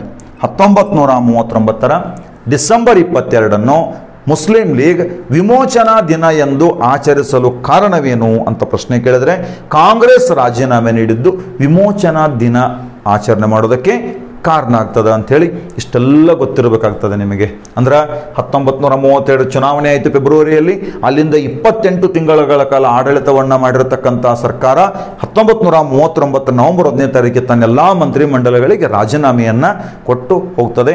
ಈ ಈ ಒಂದು ಚುನಾವಣೆ ನಡಿಬೇಕಾದ್ರೆ ಕಾರಣವಾಗಿರ್ತಕ್ಕಂಥದ್ದು ಈ ಒಂದು ಹತ್ತೊಂಬತ್ತು ನೂರ ಮೂವತ್ತೈದರ ಭಾರತ ಸರ್ಕಾರದ ಕಾಯ್ದೆ. ಹತ್ತೊಂಬತ್ತು ನೂರ ಮೂವತ್ತೈದರ ಭಾರತ ಸರ್ಕಾರದ ಕಾಯ್ದೆ ಅಂತೇಳಿ ಈ ಕಾಯ್ದೆ ಬಗ್ಗೆ ಇಷ್ಟೆಲ್ಲ ಗೊತ್ತಿರಬೇಕು. ಈ ವಿಡಿಯೋವನ್ನು ಒಂದಲ್ಲ, ಎರಡು ಸಾರಿ ಆದರೂ ನೋಡ್ರಿ, ಮೂರು ಸಾರಿ ಆದರೂ ನೋಡ್ರಿ. ಆದರೆ ಕರೆಕ್ಟಾಗಿ ಇದನ್ನು ನೀವು ಅರ್ಥ ಮಾಡ್ಕೊಂಡ್ರಿ ಅಂತಂದ್ರೆ ಸುಮಾರು ಇಷ್ಟೇನ ಬರ್ದಿಲ್ಲ, ಈ ಬರ್ದದ್ರೊಳಗೆ ಒಂದು ಇಪ್ಪತ್ತು, ಇಪ್ಪತ್ತೈದು ಕ್ವಶನ್ ರೈಸ್ ಆಗಿದೆ ಎಕ್ಸಾಮ್ ಒಳಗೆ. ಅಷ್ಟು ಇಂಪಾರ್ಟೆಂಟ್ ಆಗಿರ್ತಕ್ಕಂಥ ಕಾನ್ಸೆಪ್ಟು ಇದು ಆಗಿರ್ತದೆ. ಓಕೆ ನಾವು ಹದಿನೇಳು ನೂರ ಎಪ್ಪತ್ತ್ಮೂರರ ರೆಗ್ಯುಲೇಟಿಂಗ್ ಕಾಯ್ದೆಯಿಂದ ಹಿಡಿದು ಇಲ್ಲಿವರೆಗೆ ಸುಮಾರು ಹನ್ನೆರಡು ಕಾಯ್ದೆಗಳ ಬಗ್ಗೆ ನೋಡಿದ್ವಿ. ಅತಿ ಮುಖ್ಯವಾಗಿರ್ತಕ್ಕಂಥ ಇನ್ನೊಂದು ಕಾಯ್ದೆ ನಾನು ಹೇಳಲಿಲ್ಲ ಯಾವುದಪ್ಪ ಅಂದರೆ ಹತ್ತೊಂಬತ್ತು ನೂರ ನಲವತ್ತೇಳರ ಸ್ವಾತಂತ್ರ್ಯ ಕಾಯ್ದೆ. ನಾ ಯಾಕೆ ಅದನ್ನು ಹೇಳೋದಿಲ್ಲ ಅಂತಂದ್ರೆ ಹಿಂದೆ ಒಂದು ವಿಡಿಯೋ ಮಾಡೀನಿ ನಾನು. ಆಫ್ಟರ್ ಇಂಡಿಪೆಂಡೆನ್ಸ್ ಹಿಸ್ಟ್ರಿ ಹತ್ತೊಂಬತ್ತು ನೂರ ನಲವತ್ತೆರಡರಲ್ಲಿ ದೇಶ ವಿಭಜನೆ ಆದಾಗ ದೇಶ ಕಳೆದುಕೊಂಡದ್ದಾದರೂ ಏನು ಅಂತ ಒಂದು ವಿಡಿಯೋ ಮಾಡಿದ್ದೀನಿ. ಅದರೊಳಗೆ ನಾನು ನೈನ್ಟೀನ್ ಫಾರ್ಟಿ ಸೆವೆನ್ ಅದೇನು ಸ್ವತಂತ್ರ ಕಾಯ್ದೆ ಬಾರ್ ಇಂಡಿಪೆಂಡೆಂಟ್ ಆ್ಯಕ್ಟ್ ಐತಲ್ಲ, ಆ ಆ್ಯಕ್ಟ್ ಬಗ್ಗೆ ಡಿಟೇಲ್ ಆಗಿ ನಾನು ಹೇಳಿದ್ದೀನಿ. ಆ ಆ್ಯಕ್ಟ್ ಬಗ್ಗೆ ನೀವು ಡಿಟೇಲ್ ಆಗಿ ಆ ಒಂದು ವಿಡಿಯೋದೊಳಗೆ ನೀವು ನೋಡ್ಬೋದು. ಸುಮಾರು ಹದಿಮೂರು ಕಾಯ್ದೆಗಳದಾವ. ಇವೆಲ್ಲವೂ ಇಂಪಾರ್ಟೆಂಟ್ ಆಗಿರುವಂಥವು ನಮ್ಮೆಲ್ಲ ಕೆ ಪಿ ಎಸ್ ಸಿ ಆಗಿರ್ಬೋದು ಕೆ ಎಸ್ ಆಗಿರ್ಬೋದು F D A S D A group C P C police P C P S I ಎಲ್ಲ ಪರೀಕ್ಷೆಗಳಿಗೆ ಉಪಯುಕ್ತ ಆಗ್ತಕ್ಕಂಥ ಈ ಒಂದಿಷ್ಟು ನಾನು ತರಗತಿಗಳನ್ನು ಕಾಯ್ದೆಗಳನ್ನು ನಾನಿಲ್ಲಿ ಹೇಳಿದ್ದೀನಿ. ಓಕೆ ನಾವು ಇದರ ಜೊತೆಗೆ ಇವತ್ತು ಇನ್ನೊಂದು ಸ್ವಲ್ಪ ಸಮಯ ಇದೆ. ಒಂದೆರಡು ಕ್ವಶನ್ ಬಗ್ಗೆ ನಾನಿಲ್ಲಿ ವಿಶ್ಲೇಷಣೆ ಮಾಡೋದಕ್ಕೆ ಪ್ರಯತ್ನ ಮಾಡ್ತೀನಿ. ಓಕೆ ನಾವು ಮೊನ್ನೆವರೆಗೆ ಸುಮಾರು ಎಂಬತ್ತೇಳು ಪ್ರಶ್ನೆಗಳ ಬಗ್ಗೆ ವಿಶ್ಲೇಷಣೆಯನ್ನು ಮಾಡಿದ್ವಿ. ಎಂಬತ್ತೇಳು ಪ್ರಶ್ನೆಗಳು. ಇವತ್ತಿನ ಕ್ಲಾಸ್ ಒಳಗೆ ಒಂದೆರಡು, ಅವು ಜಿ ಕೆಗೆ ಸಂಬಂಧಪಟ್ಟಿರ್ತಕ್ಕಂಥ ಎರಡು ಕ್ವಶನ್ಸನ್ನು ನಾವು ನೋಡೋಣ. ಯಾವ ಎರಡು ಕ್ವಶನ್ಸ್ ಅಂತ ನೋಡೋಣ. ಅದ್ರಾಗ ಎಂಬತ್ತ ಎಂಟನೆಯ ಪ್ರಶ್ನೆ ಹೀಗಿದೆ. ಗೇಟ್ವೇ ಆಫ್ ಇಂಡಿಯಾದ ಶಿಲ್ಪಿ ಯಾರು? ಗೇಟ್ವೇ ಆಫ್ ಇಂಡಿಯಾದ ಶಿಲ್ಪಿ ಯಾರು ಅಂತ ಪ್ರಶ್ನೆ ಇದೆ. A, Edwin Lutyens, B, George Wittet, C, Nagendra Sthapati, D, Charles Correa ಅಂತೇಳಿ ಆಪ್ಷನ್ಸ್ ಅನ್ನ ಕೊಟ್ಟಿದ್ದಾರೆ. ಇದು ಕ್ವಶನ್ ನಂಬರ್ ಏಯ್ಟಿ ಕ್ವಶನ್ಸ್ ಅನ್ನ ಚೆನ್ನಾಗಿ ನೋಡ್ರಿ. ಗೇಟ್ವೇ ಆಫ್ ಇಂಡಿಯಾದ ಶಿಲ್ಪಿ ಯಾರು? ಗೇಟ್ವೇ ಆಫ್ ಇಂಡಿಯಾದ ಶಿಲ್ಪಿ ಯಾರು ಅಂತೇಳಿ ಪ್ರಶ್ನೆಯನ್ನ ಕೇಳಿದ್ದಾರೆ. ಗೇಟ್ವೇ ಆಫ್ ಇಂಡಿಯಾ ಓಕೆ ನಾವು ನೋಡೋಣ ಇಲ್ಲಿ. ಇಲ್ಲಿ ನಾನು ಒಂದು ಕ್ವಶನ್ ಅನ್ನು ತಗೊಂಡಿನಿ ಅಂತಂದ್ರೆ ಅದರಿಂದ ಏನೋ ಒಂದು ಉದ್ದೇಶ ಇದೆ ಮತ್ತು ಅದು ಏನೋ ಹಿನ್ನೆಲೆ ಇದೆ ಅಂತ ಅರ್ಥ. ಈ ಗೇಟ್ವೇ ಆಫ್ ಇಂಡಿಯಾ ಅನ್ನೋದು ನಿರ್ಮಾಣಕ್ಕೆ ಫೌಂಡೇಶನ್ ಹಾಕಿದ್ದು ಹತ್ತೊಂಬತ್ತು ನೂರ ಹನ್ನೊಂದು, ನಿರ್ಮಾಣ ಕಾರ್ಯ ಆರಂಭವಾದದ್ದು ಹತ್ತೊಂಬತ್ತು ನೂರ ಹದಿಮೂರು, ನಿರ್ಮಾಣ ಕಾರ್ಯ ಮುಕ್ತಾಯವಾದದ್ದು ಹತ್ತೊಂಬತ್ತು ನೂರ ಇಪ್ಪತ್ನಾಲ್ಕು. ಹತ್ತೊಂಬತ್ತು ನೂರ ಇಪ್ಪತ್ನಾಲ್ಕು, ಈ ಗೇಟ್ವೇ ಆಫ್ ಇಂಡಿಯಾ ಇರುವ ಸ್ಥಳ ಬಾಂಬೆ. ಇರುವ ಸ್ಥಳ ಬಾಂಬೆ. ಇಲ್ಲಿ ಕ್ವಶನ್ ಕೇಳಿದ್ದೇನು ಅಂತಂದ್ರೆ ಗೇಟ್ ವೇ ಆಫ್ ಇಂಡಿಯಾದ ಶಿಲ್ಪಿ ಯಾರು ಅಂತ ಕ್ವಶನ್ ಅನ್ನ ಕೇಳಿದಾರೆ. ಈ ಗೇಟ್ವೇ ಆಫ್ ಇಂಡಿಯಾದ ಶಿಲ್ಪಿ ಯಾರು ಅಂತ ಕೇಳಿದ್ರೆ ಜಾರ್ಜ್ ವಿಟೆಟ್ ಅಂತಕ್ಕಂಥ ವ್ಯಕ್ತಿ. George Wittet John George Wittet ಅಥವಾ ಜಾನ್ ವಿಟೆಟ್ ಅಂತ ಕರೆದ್ರು ಸಹಿತ, ಓಕೆ, ಇವನು ಇದರ ಶಿಲ್ಪಿ. ಇಲ್ಲಿ ಈ ಇದೇನು ಗೇಟ್ ವೇ ಆಫ್ ಇಂಡಿಯಾವನ್ನ ಕಟ್ಟಲಾಯಿತು ಬಾಂಬೆಯಲ್ಲಿ? ಇದರ ಶೈಲಿ ಯಾವುದು ಅಂತ ಪ್ರಶ್ನೆಯನ್ನು ಕೇಳಿದ್ರೆ ಇಂಡೋ ಸಾರ್ಸನಿಕ್ ಅಂತಕ್ಕಂಥ ಶೈಲಿಯಲ್ಲಿ ಇದನ್ನು ನಿರ್ಮಿಸಲಾಗಿದೆ. ದೆಹಲಿಯ ಸುಲ್ತಾನರು ಎಂಬ ಒಂದು ಟಾಪಿಕ್ ಅನ್ನ ಹೇಳೋ ಟೈಮ್ನಾಗ ನಾನು ನಿಮಗೆ ಇಂಡೋ ಸಾರ್ಸನಿಕ್ ಶೈಲಿ ಹೆಂಗಿರ್ತದ ಅಂತೇಳಿ ಒಂದು ಒಂದು ಇಮೇಜ್, ಒಂದು ಡಯಾಗ್ರಾಮ್ ಅನ್ನು ತೆಗೆದು ನಾನು ನಿಮಗೆ ತೋರಿಸಿದ್ದೆ. ಅಂದ್ರೆ ಇಲ್ಲಿ ಈ ಗೇಟ್ ವೇ ಆಫ್ ಇಂಡಿಯಾ ಇಂಡಿಯಾವನ್ನ ಸಹಿತ ಆ ಇಂಡೋ ಸಾರ್ಸನಿಕ್ ಶೈಲಿ ಒಳಗೆ ನಿರ್ಮಿಸಲಾಗಿದೆ. ನೆಕ್ಸ್ಟ್ ಇನ್ನೊಂದು ಅಂಶ, ಇದನ್ನು ಯಾಕೆ ನಿರ್ಮಿಸಿದ್ರು ಅಂತ ಕೇಳಿದ್ರೆ ಹತ್ತೊಂಬತ್ ನೂರ ಹನ್ನೊಂದರಲ್ಲಿ ಇಂಗ್ಲೆಂಡಿನ ರಾಜ ಐದನೇ ಜಾರ್ಜ್. ಇಂಗ್ಲೆಂಡಿನ ರಾಜ ಐದನೇ ಜಾರ್ಜ್ ಮತ್ತು ಆತನ ರಾಣಿ ಮೇರಿ. ಇಂಗ್ಲೆಂಡಿನ ರಾಜ ಐದನೇ ಜಾರ್ಜ್ ಮತ್ತು ಆತನ ರಾಣಿ ಮೇರಿ ಈ ಇಬ್ರು ಜನ ಭಾರತಕ್ಕೆ ಭೇಟಿ ಕೊಡ್ತಾರೆ. ಹತ್ತೊಂಬತ್ ನೂರ ಹನ್ನೊಂದರಲ್ಲಿ. ಹತ್ತೊಂಬತ್ ನೂರ ಹನ್ನೊಂದು. ಐದನೇ ಜಾರ್ಜ್ ಮತ್ತು ಮೇರಿ ಇವರಿಬ್ಬರು ಜನ ಭಾರತಕ್ಕೆ ಭೇಟಿ ನೀಡಿದ್ದರ ಸವಿನೆನಪಿಗಾಗಿ ಸವಿನೆನಪಿಗಾಗಿ ಇಲ್ಲೊಬ್ಬ ವೈಸ್ರಾಯ್ ಇದ್ದ ನಮ್ಮಲ್ಲಿ ಲಾರ್ಡ್ ಹಾರ್ಡಿಂಜ್ ಅಂತೇಳಿ ವೈಸ್ರಾಯ್ ಲಾರ್ಡ್ ಹಾರ್ಡಿಂಜ್ ಅನ್ನೋ ವೈಸ್ರಾಯ್. ಈ ಲಾರ್ಡ್ ಹಾರ್ಡಿಂಜ್ ಎಂಬ ವೈಸ್ರಾಯ್ನು ಇದರ ನಿರ್ಮಾಣಕ್ಕೆ ಅಡಿಗಲ್ಲು ಹತ್ತನ ಇವರಿಬ್ಬರ ಭೇಟಿಯ ಸವಿನೆನಪಿಗಾಗಿ ಓಕೆ ಇಷ್ಟು ಪಾಯಿಂಟ್ಸ್ ತಿಳ್ಕೊಬೇಕು ನೀವು. ನೋಡ್ರಿ ಮೊದಲನೇದ್ದು ಗೇಟ್ ವೇ ಆಫ್ ಇಂಡಿಯಾ ಇರೋದಲ್ಲಿ ಬಾಂಬೆ ಹತ್ತೊಂಬತ್ ನೂರ ಹದಿಮೂರರಿಂದ ಇಪ್ಪತ್ನಾಲ್ಕರ ಅವಧಿಯಲ್ಲಿ ನಿರ್ಮಾಣ ಆಗ್ಯದ. ಇದರ ಶಿಲ್ಪಿ ಜಾನ್ ವಿಟೆಟ್ ಅಥವಾ ಜಾರ್ಜ್ ವಿಟೆಟ್ ಶಿಲ್ಪಿ, ಇದರ ಶೈಲಿ ಇಂಡೋ ಸಾರ್ಸನಿಕ್ ಇನ್ನ ಇಲ್ಲಿ ರಾ, ಯಾಕೆ ನಿರ್ಮಾಣ ಆಯ್ತಂದ್ರೆ ಹತ್ತೊಂಬತ್ ನೂರ ಹನ್ನೊಂದರಲ್ಲಿ ಭಾರತಕ್ಕೆ ಭೇಟಿ ನೀಡಿದ್ದ ಬ್ರಿಟನ್ನಿನ ರಾಜ, ಐದನೇ ಜಾರ್ಜ್ ಮತ್ತು ಆತನ ರಾಣಿ ಮೇರಿಯ ಭೇಟಿಯ ಸವಿನೆನಪಿಗಾಗಿ ನಿರ್ಮಾಣ ಆಗ್ಯದ. ಇದನ್ನ ನಿರ್ಮಾಣ ಕಾರ್ಯ ಆರಂಭಿಸಿದವರು ವೈಸ್ರಾಯ್ ಲಾರ್ಡ್ ಹಾರ್ಡೆಂಜ್ ಅಂತಕ್ಕಂಥ ವ್ಯಕ್ತಿ. ಲಾರ್ಡ್ ಹಾರ್ಡೆಂಜ್ ಅನ್ನೋ ವ್ಯಕ್ತಿ. ಇದು ಗೇಟ್ವೇ ಆಫ್ ಇಂಡಿಯಾ. ಇದರ ಜೊತೆಗೆ ನಾನು ನಿಮಗೆ ಇನ್ನೊಂದಿಷ್ಟು ಅಂಶಗಳನ್ನ ಹೇಳಬೇಕು. ಇದು ಒಂದಾಯ್ತು. ಇನ್ನೊಂದು ಯಾವುದಪ್ಪ ಅಂತಂದ್ರೆ ಇಂಡಿಯಾ ಗೇಟ್ ಅಂತ ಬರ್ತದೆ. ಇಂಡಿಯಾ ಗೇಟ್ ಅಂತೇಳಿ. ಈ ಇಂಡಿಯಾ ಗೇಟ್ ಅಂತಕ್ಕಂಥ ಒಂದು ಸ್ಮಾರಕ ಇರೋದು ದೆಹಲಿಯಲ್ಲಿ. ಇಂಡಿಯಾ ಗೇಟ್ ಇರೋದೆಲ್ಲಿ? ದೆಹಲಿಯಲ್ಲಿ. ಇದನ್ನ ಮೊದಲು ಏನು ಕರಿತಿದ್ರು ಅಂತಂದ್ರೆ all India all India war memorial ಅಂತ ಕರಿತಿದ್ರು ಇದನ್ನ. ಆಲ್ ಇಂಡಿಯಾ ವಾರ್ ಮೆಮೋರಿಯಲ್ ಅಂತ ಕರಿತಿರ್ತಾರೆ ಅಂದ್ರೆ ಅಖಿಲ ಭಾರತ ಯುದ್ಧ ಸ್ಮಾರಕ ಅಂತ ಕರಿತಿದ್ರು. ನಂತರ ಅದನ್ನ ಇಂಡಿಯಾ ಗೇಟ್ ಅಂತ ಕರೀಲಾಗ್ತದೆ. ಬಹಳ ಜನ ಯುವಕರು ಕನ್ಫ್ಯೂಸ್ ಮಾಡ್ಕೊಳ್ತಿರ್ತಾರೆ ಅದನ್ನ. ಏನಪ್ಪಾ ಅಂತಂದ್ರೆ ಗೇಟ್ ವೇ ಆಫ್ ಇಂಡಿಯಾ ಯಾವುದು ಮತ್ತು ಇಂಡಿಯಾ ಗೇಟ್ ಯಾವುದು ಉದ್ದೇಶ ಏನು ಅಂತೇಳಿ. ನೋಡ್ರಿ, ಆ ಗೇಟ್ ವೇ ಆಫ್ ಇಂಡಿಯಾ ಬಾಂಬೆಯಲ್ಲಿರೋದು ಇಂಡಿಯಾ ಗೇಟಲ್ಲಿರೋದು ದೆಹಲಿಯಲ್ಲಿರೋದು. ಇದನ್ನ ಆಲ್ ಇಂಡಿಯಾ ವಾರ್ ಮೆಮೋರಿಯಲ್ ಅಂತ ಕರಿತಿದ್ರು. ಇದನ್ನ ನಿರ್ಮಿಸುವುದರ ಹಿಂದಿನ ಉದ್ದೇಶ ಏನಪ್ಪಾ ಅಂತಂದ್ರೆ ಪ್ರಥಮ ಮಹಾಯುದ್ಧದಲ್ಲಿ, ನೆನಪಿರಲಿ? ಕರೆಕ್ಟಾಗಿ ನೋಡ್ರಿ ಇದನ್ನ. ಪ್ರಥಮ ಮಹಾಯುದ್ಧದಲ್ಲಿ ಪ್ರಥಮ ಮಹಾಯುದ್ಧದಲ್ಲಿ ಮತ್ತು ಮೂರನೇ ಆಂಗ್ಲೋ ಅಫ್ಘಾನ್ ಯುದ್ಧದಲ್ಲಿ, ಪ್ರಥಮ ಮಹಾಯುದ್ಧದಲ್ಲಿ ಮತ್ತು ಮೂರನೇ ಆಂಗ್ಲೋ ಅಫ್ಘಾನ್ ಯುದ್ಧದಲ್ಲಿ ಹುತಾತ್ಮರಾದ ಸೈನಿಕರಿಗೆ ಗೌರವ ಸಲ್ಲಿಸುವುದು. ಇದರ ಉದ್ದೇಶ ಆಗಿತ್ತು. ಯಾವುದ್ರದ್ದು? ಆಲ್ ಇಂಡಿಯಾ ವಾರ್ ಮೆಮೋರಿಯಲ್ ಅಥವಾ ಇಂಡಿಯಾ ಗೇಟ್ ಇವತ್ತು ರಾಜ್ಪಥ್ ಅಂತಿದೆಯಲ್ಲ, ಅಲ್ಲಿದೆ ಇದು ಇಂಡಿಯಾ ಗೇಟ್ ಇನ್ನ ಇದು ನೋಡ್ರಿ, ಪ್ರಥಮ ಮಹಾಯುದ್ಧದಲ್ಲಿ ಮತ್ತು ಮೂರನೇ ಆಂಗ್ಲೋ ಅಫ್ಘಾನ್ ಯುದ್ಧದಲ್ಲಿ ಹುತಾತ್ಮರಾಗಿರುವ ಸೈನಿಕರಿಗೆ ಗೌರವ ಸಲ್ಲಿಸುವ ಉದ್ದೇಶದಿಂದ ಇದನ್ನು ನಿರ್ಮಿಸಲಾಯಿತು ಇಂಡಿಯಾ ಗೇಟ್ ಅನ್ನ. ಇದು ನಿರ್ಮಾಣವಾದ ಅವಧಿ ಹತ್ತೊಂಬತ್ ನೂರ ಇಪ್ಪತ್ತೊಂದರಿಂದ ಹತ್ತೊಂಬತ್ ನೂರ ಮೂವತ್ತೊಂದು. ಹತ್ತೊಂಬತ್ ನೂರ ಇಪ್ಪತ್ತೊಂದರಿಂದ ಹತ್ತೊಂಬತ್ ನೂರ ಮೂವತ್ತೊಂದು. ಇದರ ಶಿಲ್ಪಿ ಯಾರು ಅಂತ ಪ್ರಶ್ನೆ ಕೇಳಿದರೆ ಆಪ್ಷನ್ ಒಳಗ ಇದನ್ನು ಕೂಡ ಕೊಟ್ಟಿದ್ದಾರೆ. ಇದರ ಶಿಲ್ಪಿ ಎಡ್ವಿನ್ ಲುಟಿನ್ಸ್ ಅಂತಕ್ಕಂಥ ವ್ಯಕ್ತಿ. ಇದರ ಶಿಲ್ಪಿ ಎಡ್ವಿನ್ ಲುಟಿನ್ಸ್. ನೆನಪಿರಲಿ? ಎಡ್ವಿನ್ ಲುಟಿನ್ಸ್ ಅಂತಕ್ಕಂಥ ವ್ಯಕ್ತಿ, ಇದರ ಶಿಲ್ಪಿ. ಇನ್ನ ಈ ಇಂಡಿಯಾ ಗೇಟ್ ಯಾವ ಶೈಲಿಯೊಳಗಿದೆ ಅಂತ ಕೇಳಿದ್ರೆ, ಅದು ಸಹಿತ ಇಂಡೋ ಸಾರ್ಸ್ನಿಕ್ ಶೈಲಿ ಒಳಗೆ ಈ ಇಂಡಿಯಾ ಗೇಟನ್ನು ನಿರ್ಮಾಣ ಮಾಡಲಾಗಿದೆ. ಈಗ ಕನ್ಫ್ಯೂಸ್ಡ್ ಇಲ್ಲ ಅಂತ ನಾನು ಅಂದ್ಕೊಳ್ತೀನಿ ಇವಾಗ. ಕ್ಲಿಯರ್ ಆಗಿದೆ ಅಂತ ಅನ್ಕೊಳ್ತೀನಿ ಇನ್ನೊಂದು ಏನಪ್ಪಾ ಅಂದ್ರೆ ಈ ಇಂಡಿಯಾ ಗೇಟ್ನ ಮೇಲೆ ಸುಮಾರು ಹದಿಮೂರು ಸಾವಿರಕ್ಕಿಂತ ಹೆಚ್ಚಿನ ಸೈನಿಕರ ಹೆಸರುಗಳನ್ನು ಕೆತ್ತಲಾಗಿದೆ. ಹದಿಮೂರು ಸಾವಿರಕ್ಕಿಂತ ಹೆಚ್ಚಿನ ಸೈನಿಕರ ಹೆಸರುಗಳನ್ನು ಈ ಇಂಡಿಯಾ ಗೇಟ್ ಮೇಲೆ ಅಂದ್ರೆ ಹುತಾತ್ಮರಾಗಿರುವ ಸೈನಿಕರ ಹೆಸರುಗಳನ್ನು ಇಂಡಿಯಾ ಗೇಟ್ ಮೇಲೆ ಕೆತ್ತಲಾಗಿದೆ. ಇದರ ಶಿಲ್ಪಿ ಎಡ್ವಿನ್ ಲುಟಿನ್ಸ್ ಅಂತೇಳಿ. ಇದು ಗೊತ್ತಿರಬೇಕು ನಿಮಗೆ. ಇನ್ನು ಆಪ್ಷನ್ ಒಳಗ ಮತ್ತಲ್ಲಿ ಇನ್ನೂ ಹೆಸರು ಯಾವ್ದಾವ ಅಂತಂದಾಗ, ಹಾಗೆ ಒಬ್ರು ನಾಗೇಂದ್ರ ಸ್ಥಪತಿ ಅಂತಿದ್ದಾರೆ. ನಾಗೇಂದ್ರ ಸ್ಥಪತಿ ಅಂತಕ್ಕಂಥ ಒಬ್ಬರು ವ್ಯಕ್ತಿ ಇದ್ದಾರೆ. ನಾಗೇಂದ್ರ ಸ್ಥಪತಿ. ಯಾರು ಇವರು ನಾಗೇಂದ್ರ ಸ್ಥಪತಿ ಅಂತ ಕೇಳಿದ್ರೆ, ಇವತ್ತು ಬೆಂಗಳೂರಿನೊಳಗೆ ವಿಧಾನಸೌಧ ಇದೆ ನೋಡ್ರಿ. ಬೆಂಗಳೂರಿನ ವಿಧಾನಸೌಧ. ಈ ಬೆಂಗಳೂರಿನ ವಿಧಾನಸೌಧದ ಶಿಲ್ಪಿ ಈ ನಾಗೇಂದ್ರ ಸ್ಥಪತಿ. ನಾವೆಲ್ಲ ಕಾಮನ್ ಆಗಿ ವಿಧಾನಸೌಧವನ್ನು ಕಟ್ಟಿಸಿದವರು ಯಾರು ಅಂತ ಕೇಳಿದ್ರೆ ಕೆಂಗಲ್ ಹನುಮಂತಯ್ಯ ಅಂತ ಹೇಳ್ಬಿಡ್ತೀವಿ. ಓಕೆ, ಕೆಂಗಲ್ ಹನುಮಂತನವರು ಅದಕ್ಕೆ ಅಡಿಗಲ್ಲ ಹಾಕಿದ್ರು, ಅದೆಲ್ಲ ಬೇರೆ. ಆದರೆ ಆ ಬೆಂಗಳೂರು ವಿಧಾನಸೌಧದ ಶಿಲ್ಪಿ ಯಾರು ಅಂತ ಕೇಳಿದ್ರೆ ನಾಗೇಂದ್ರ ಸ್ಥಪತಿ ಅಂತ ಹೇಳ್ಬೇಕಾಗ್ತದೆ. ನಾಗೇಂದ್ರ ಸ್ಥಪತಿ ಅಂತೇಳಿ. ಇನ್ನೊಬ್ಬ ವ್ಯಕ್ತಿ ಹೆಸರನ್ನ ಅಲ್ಲಿ ಆಪ್ಷನ್ ಒಳಗೆ ಕೊಡಲಾಗಿದೆ ಯಾರಪ್ಪ ಅಂತಂದ್ರೆ ಅಂತ ಚಾರ್ಲ್ಸ್ ಕೋರಿಯಾ ಅಂತೇಳಿ. ಚಾರ್ಲ್ಸ್ ಕೋರಿಯಾ ಅಂತಕ್ಕಂಥ ವ್ಯಕ್ತಿ. ಈ ಚಾರ್ಲ್ಸ್ ಕೋರಿಯಾ ಎರಡು ಅದಾವೆ ಅದ್ರಾಗ ಎರಡು ಗಮನಾರ್ಹವಾಗಿರ್ತಕ್ಕಂಥ ಸಾಧನೆಗಳು. ಅಂದ್ರೆ ಇದೊಬ್ಬ ಶಿಲ್ಪಿ ಯಾವುದರ ಶಿಲ್ಪಿ ಅಂದ್ರೆ ಮೊದಲನೆಯದ್ದು ಚಂಡೀಗಢ ಅಂತ ಒಂದು ನಗರ ಇದೆ ನೋಡ್ರಿ. ಚಂಡೀಗಢ ನಗರದ ಶಿಲ್ಪಿ ಒಂದು. ಎರಡನೇದು, ಆಲಮಟ್ಟಿ ಜಲಾಶಯವನ್ನ ಕಟ್ಟಲು ಆರಂಭಿಸಿದಾಗ ಆಲಮಟ್ಟಿಯ ಹಿನ್ನೀರಿನಲ್ಲಿ ಬಾಗಲಕೋಟೆ ನಗರ ಮುಳುಗಡೆ ಆಗ್ತದೆ. ಮುಳುಗಡೆದಾಗ ಅಲ್ಲಿನ ಜನರಿಗೆ ಪುನರ್ವಸತಿ ಕಲ್ಪಿಸಲುವಾಗಿ ಇನ್ನೊಂದು ನಗರ ನಗರವನ್ನು ನಿರ್ಮಿಸಿದರು. ಅದನ್ನು ಬಾಗಲಕೋಟೆ ನವನಗರ ಅಂತ ಕರೆದ್ರು. ಬಾಗಲಕೋಟೆ ನವನಗರ. ಆ ಬಾಗಲಕೋಟೆ ನವನಗರದ ಶಿಲ್ಪಿಯು ಕೂಡ ಈ ಚಾರ್ಲ್ಸ್ ಕೋರಿಯಾ ಅಂತೇಳಿ. ಚಾರ್ಲ್ಸ್ ಕೋರಿಯಾ ಇಲ್ಲಿ ನೋಡ್ರಿ?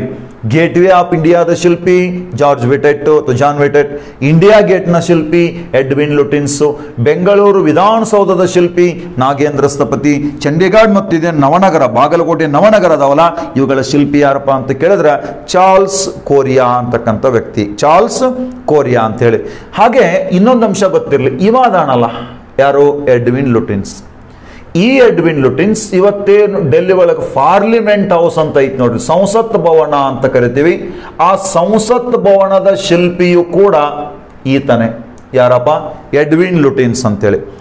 ಎಡ್ವಿನ್ ಲುಟಿನ್ಸ್ ಮತ್ತು ಆತನ ಜೊತೆಗೆ ಇನ್ನೊಬ್ಬ ವ್ಯಕ್ತಿ ಇರ್ತಾನೆ. ಹರ್ಬರ್ಟ್ ಬೇಕರ್ ಅಂತೇಳಿ. ಈ ಇಬ್ಬರು ಜನ ಸೇರ್ಕೊಂಡು ಇದರ ಒಂದು ವಿನ್ಯಾಸವನ್ನ ಸಿದ್ಧಗೊಳಿಸ್ತಾರೆ. ದೆಹಲಿಯಲ್ಲಿರುವ ಸಂಸತ್ ಭವನದ ಶಿಲ್ಪಿಗಳು, ಒಬ್ಬ ಎಡ್ವಿನ್ ಲುಟಿನ್ಸ್, ಇನ್ನೊಬ್ಬ ಹರ್ಬರ್ಟ್ ಬೇಕರ್ ಅಂತಕ್ಕಂಥ ವ್ಯಕ್ತಿ ಗೊತ್ತಿರಬೇಕು. ಈ ದೆಹಲಿಯ ಸಂಸತ್ ಭವನ ಏನು ತಳಭಾಗ ಐತಲ್ಲ, ತಳಭಾಗವನ್ನ ನಮ್ಮ ಬಾಗಲಕೋಟೆ ಜಿಲ್ಲೆಯ ಐಹೊಳೆಯಲ್ಲಿರುವ, ಬಾಗಲಕೋಟೆ ಜಿಲ್ಲೆಯ ಐಹೊಳೆಯಲ್ಲಿರುವ ಒಂದು ದುರ್ಗಾ ದೇವಾಲಯದ ತಳಭಾಗದಲ್ಲಿ ತಳಭಾಗದ ಆಕಾರದಲ್ಲಿ ಈ ಪಾರ್ಲಿಮೆಂಟ್ ಹೌಸನ್ನು ನಿರ್ಮಾಣ ಮಾಡಲಾಗಿದೆ ಅಂತೇಳಿ ನಿಮ್ಗೆ ಗೊತ್ತಿರಬೇಕು. ನಾನು ಎರಡು ಪ್ರಶ್ನೆ ಅಂತ ಹೇಳಿದ್ದೆ. ಬಟ್ ಬೇಡ, ಈ ಒಂದು ಪ್ರಶ್ನೆ ಬಗ್ಗೆ ನಿಮಗೊಂದು ವಿಶ್ಲೇಷಣೆ ಮಾಡಿದೆ ಇಷ್ಟು ನಿಮಗೆ ಗೊತ್ತಿರಲಿ. ಆತ್ಮೀಯ ಸ್ಪರ್ಧಾರ್ಥಿಗಳೇ, ಸುಮಾರು ಒಂದು ಗಂಟೆ ಕಾಲ ನೀವೆಲ್ಲ ಈ ಒಂದು ತರಗತಿಯನ್ನು ವೀಕ್ಷಿಸಿದಿರಿ. ಇದೇ ರೀತಿಯಾಗಿ ನಿಮ್ಮೆಲ್ಲರ ಸಹಕಾರ ಮತ್ತು ಪ್ರೋತ್ಸಾಹ ನಿರಂತರವಾಗಿ ನಮ್ಮ ಜೊತೆಗೆ ಇರಲಿ ಅಂತೇಳಿ ನಾನು ಮನವಿ ಮಾಡ್ಕೊಳ್ತೀನಿ. ಯಾರಾದರೂ ಮೊದಲ ಬಾರಿಗೆ ನಮ್ಮ ಚಾನಲ್ನ ನೋಡ್ತಾ ಇದ್ದರೆ ದಯವಿಟ್ಟು ಸಿದ್ದಣ್ಣ ದಳವಾಯಿ ಎಜುಕೇಟರ್ ಚಾನಲ್ಗೆ ಸಬ್ಸ್ಕ್ರೈಬ್ ಆಗಬೇಕು. ಅಷ್ಟೇ ಅಲ್ಲದೆ ಸಬ್ಸ್ಕ್ರೈಬ್ ಬಟನ್ ಪಕ್ಕದಲ್ಲಿರುವ ಬೆಲ್ ಐಕಾನನ್ನು ಕ್ಲಿಕ್ ಮಾಡೋದರ ಮೂಲಕ ನಾವು ಅಪ್ಲೋಡ್ ಮಾಡ್ತಕ್ಕಂಥ ಎಲ್ಲ ವಿಡಿಯೋಗಳ ಲಿಂಕನ್ನು ನೀವು ನೇರವಾಗಿ ನೋಟಿಫಿಕೇಶನ್ ನೀವು ಪಡಿಬೋದು ಅಂತ ಹೇಳ್ತೀನಿ. ನಾಳೆ ನಾವು ಇನ್ನೊಂದು ವಿಶೇಷವಾದ ವಿಷಯದೊಂದಿಗೆ ವಿಶೇಷವಾದ ಕೆಲವೊಂದಿಷ್ಟು ಅಂಶಗಳೊಂದಿಗೆ ನಿಮ್ಮ ಮುಂದೆ ಬರ್ತೀವಿ. ನಮ್ಮ ತರಗತಿ ನಿರಂತರವಾಗಿ ಒಂಬತ್ತು ಗಂಟೆಯಿಂದ ರಾತ್ರಿ ಹತ್ತು ಗಂಟೆವರೆಗೆ ನಡೀತಾನೆ ಇರ್ತದೆ. ಯಾವುದೇ ಕಾರಣಕ್ಕೆ ನಾವು ಅದನ್ನು ನಿಲ್ಲಿಸೋದಿಲ್ಲ ನೀವು ಭಾಳಷ್ಟು ಒಳ್ಳೆಯ ಪ್ರೋತ್ಸಾಹವನ್ನು ನಮ್ಮ ತರಗತಿಗಳಿಗೆ ನೀಡ್ತಾ ಇದ್ದೀರಿ. ನೀವೆಲ್ಲರೂ ನಿಮ್ಮ ನಿಮ್ಮ ಮನೆಗಳಲ್ಲಿ ಸೇಫ್ ಆಗಿರಿ ನಿರಂತರವಾಗಿ ಅಧ್ಯಯನ ಮಾಡ್ತಾ ಇರಿ ಅಂತ ಹೇಳ್ತಾ ನಾವು ಇವತ್ತಿನ ತರಗತಿಯನ್ನು ಇಲ್ಲಿಗೆ ಮುಗಿಸೋಣ. ತಮ್ಮೆಲ್ಲರಿಗೂ ನಮಸ್ಕಾರ. ಶುಭರಾತ್ರಿ.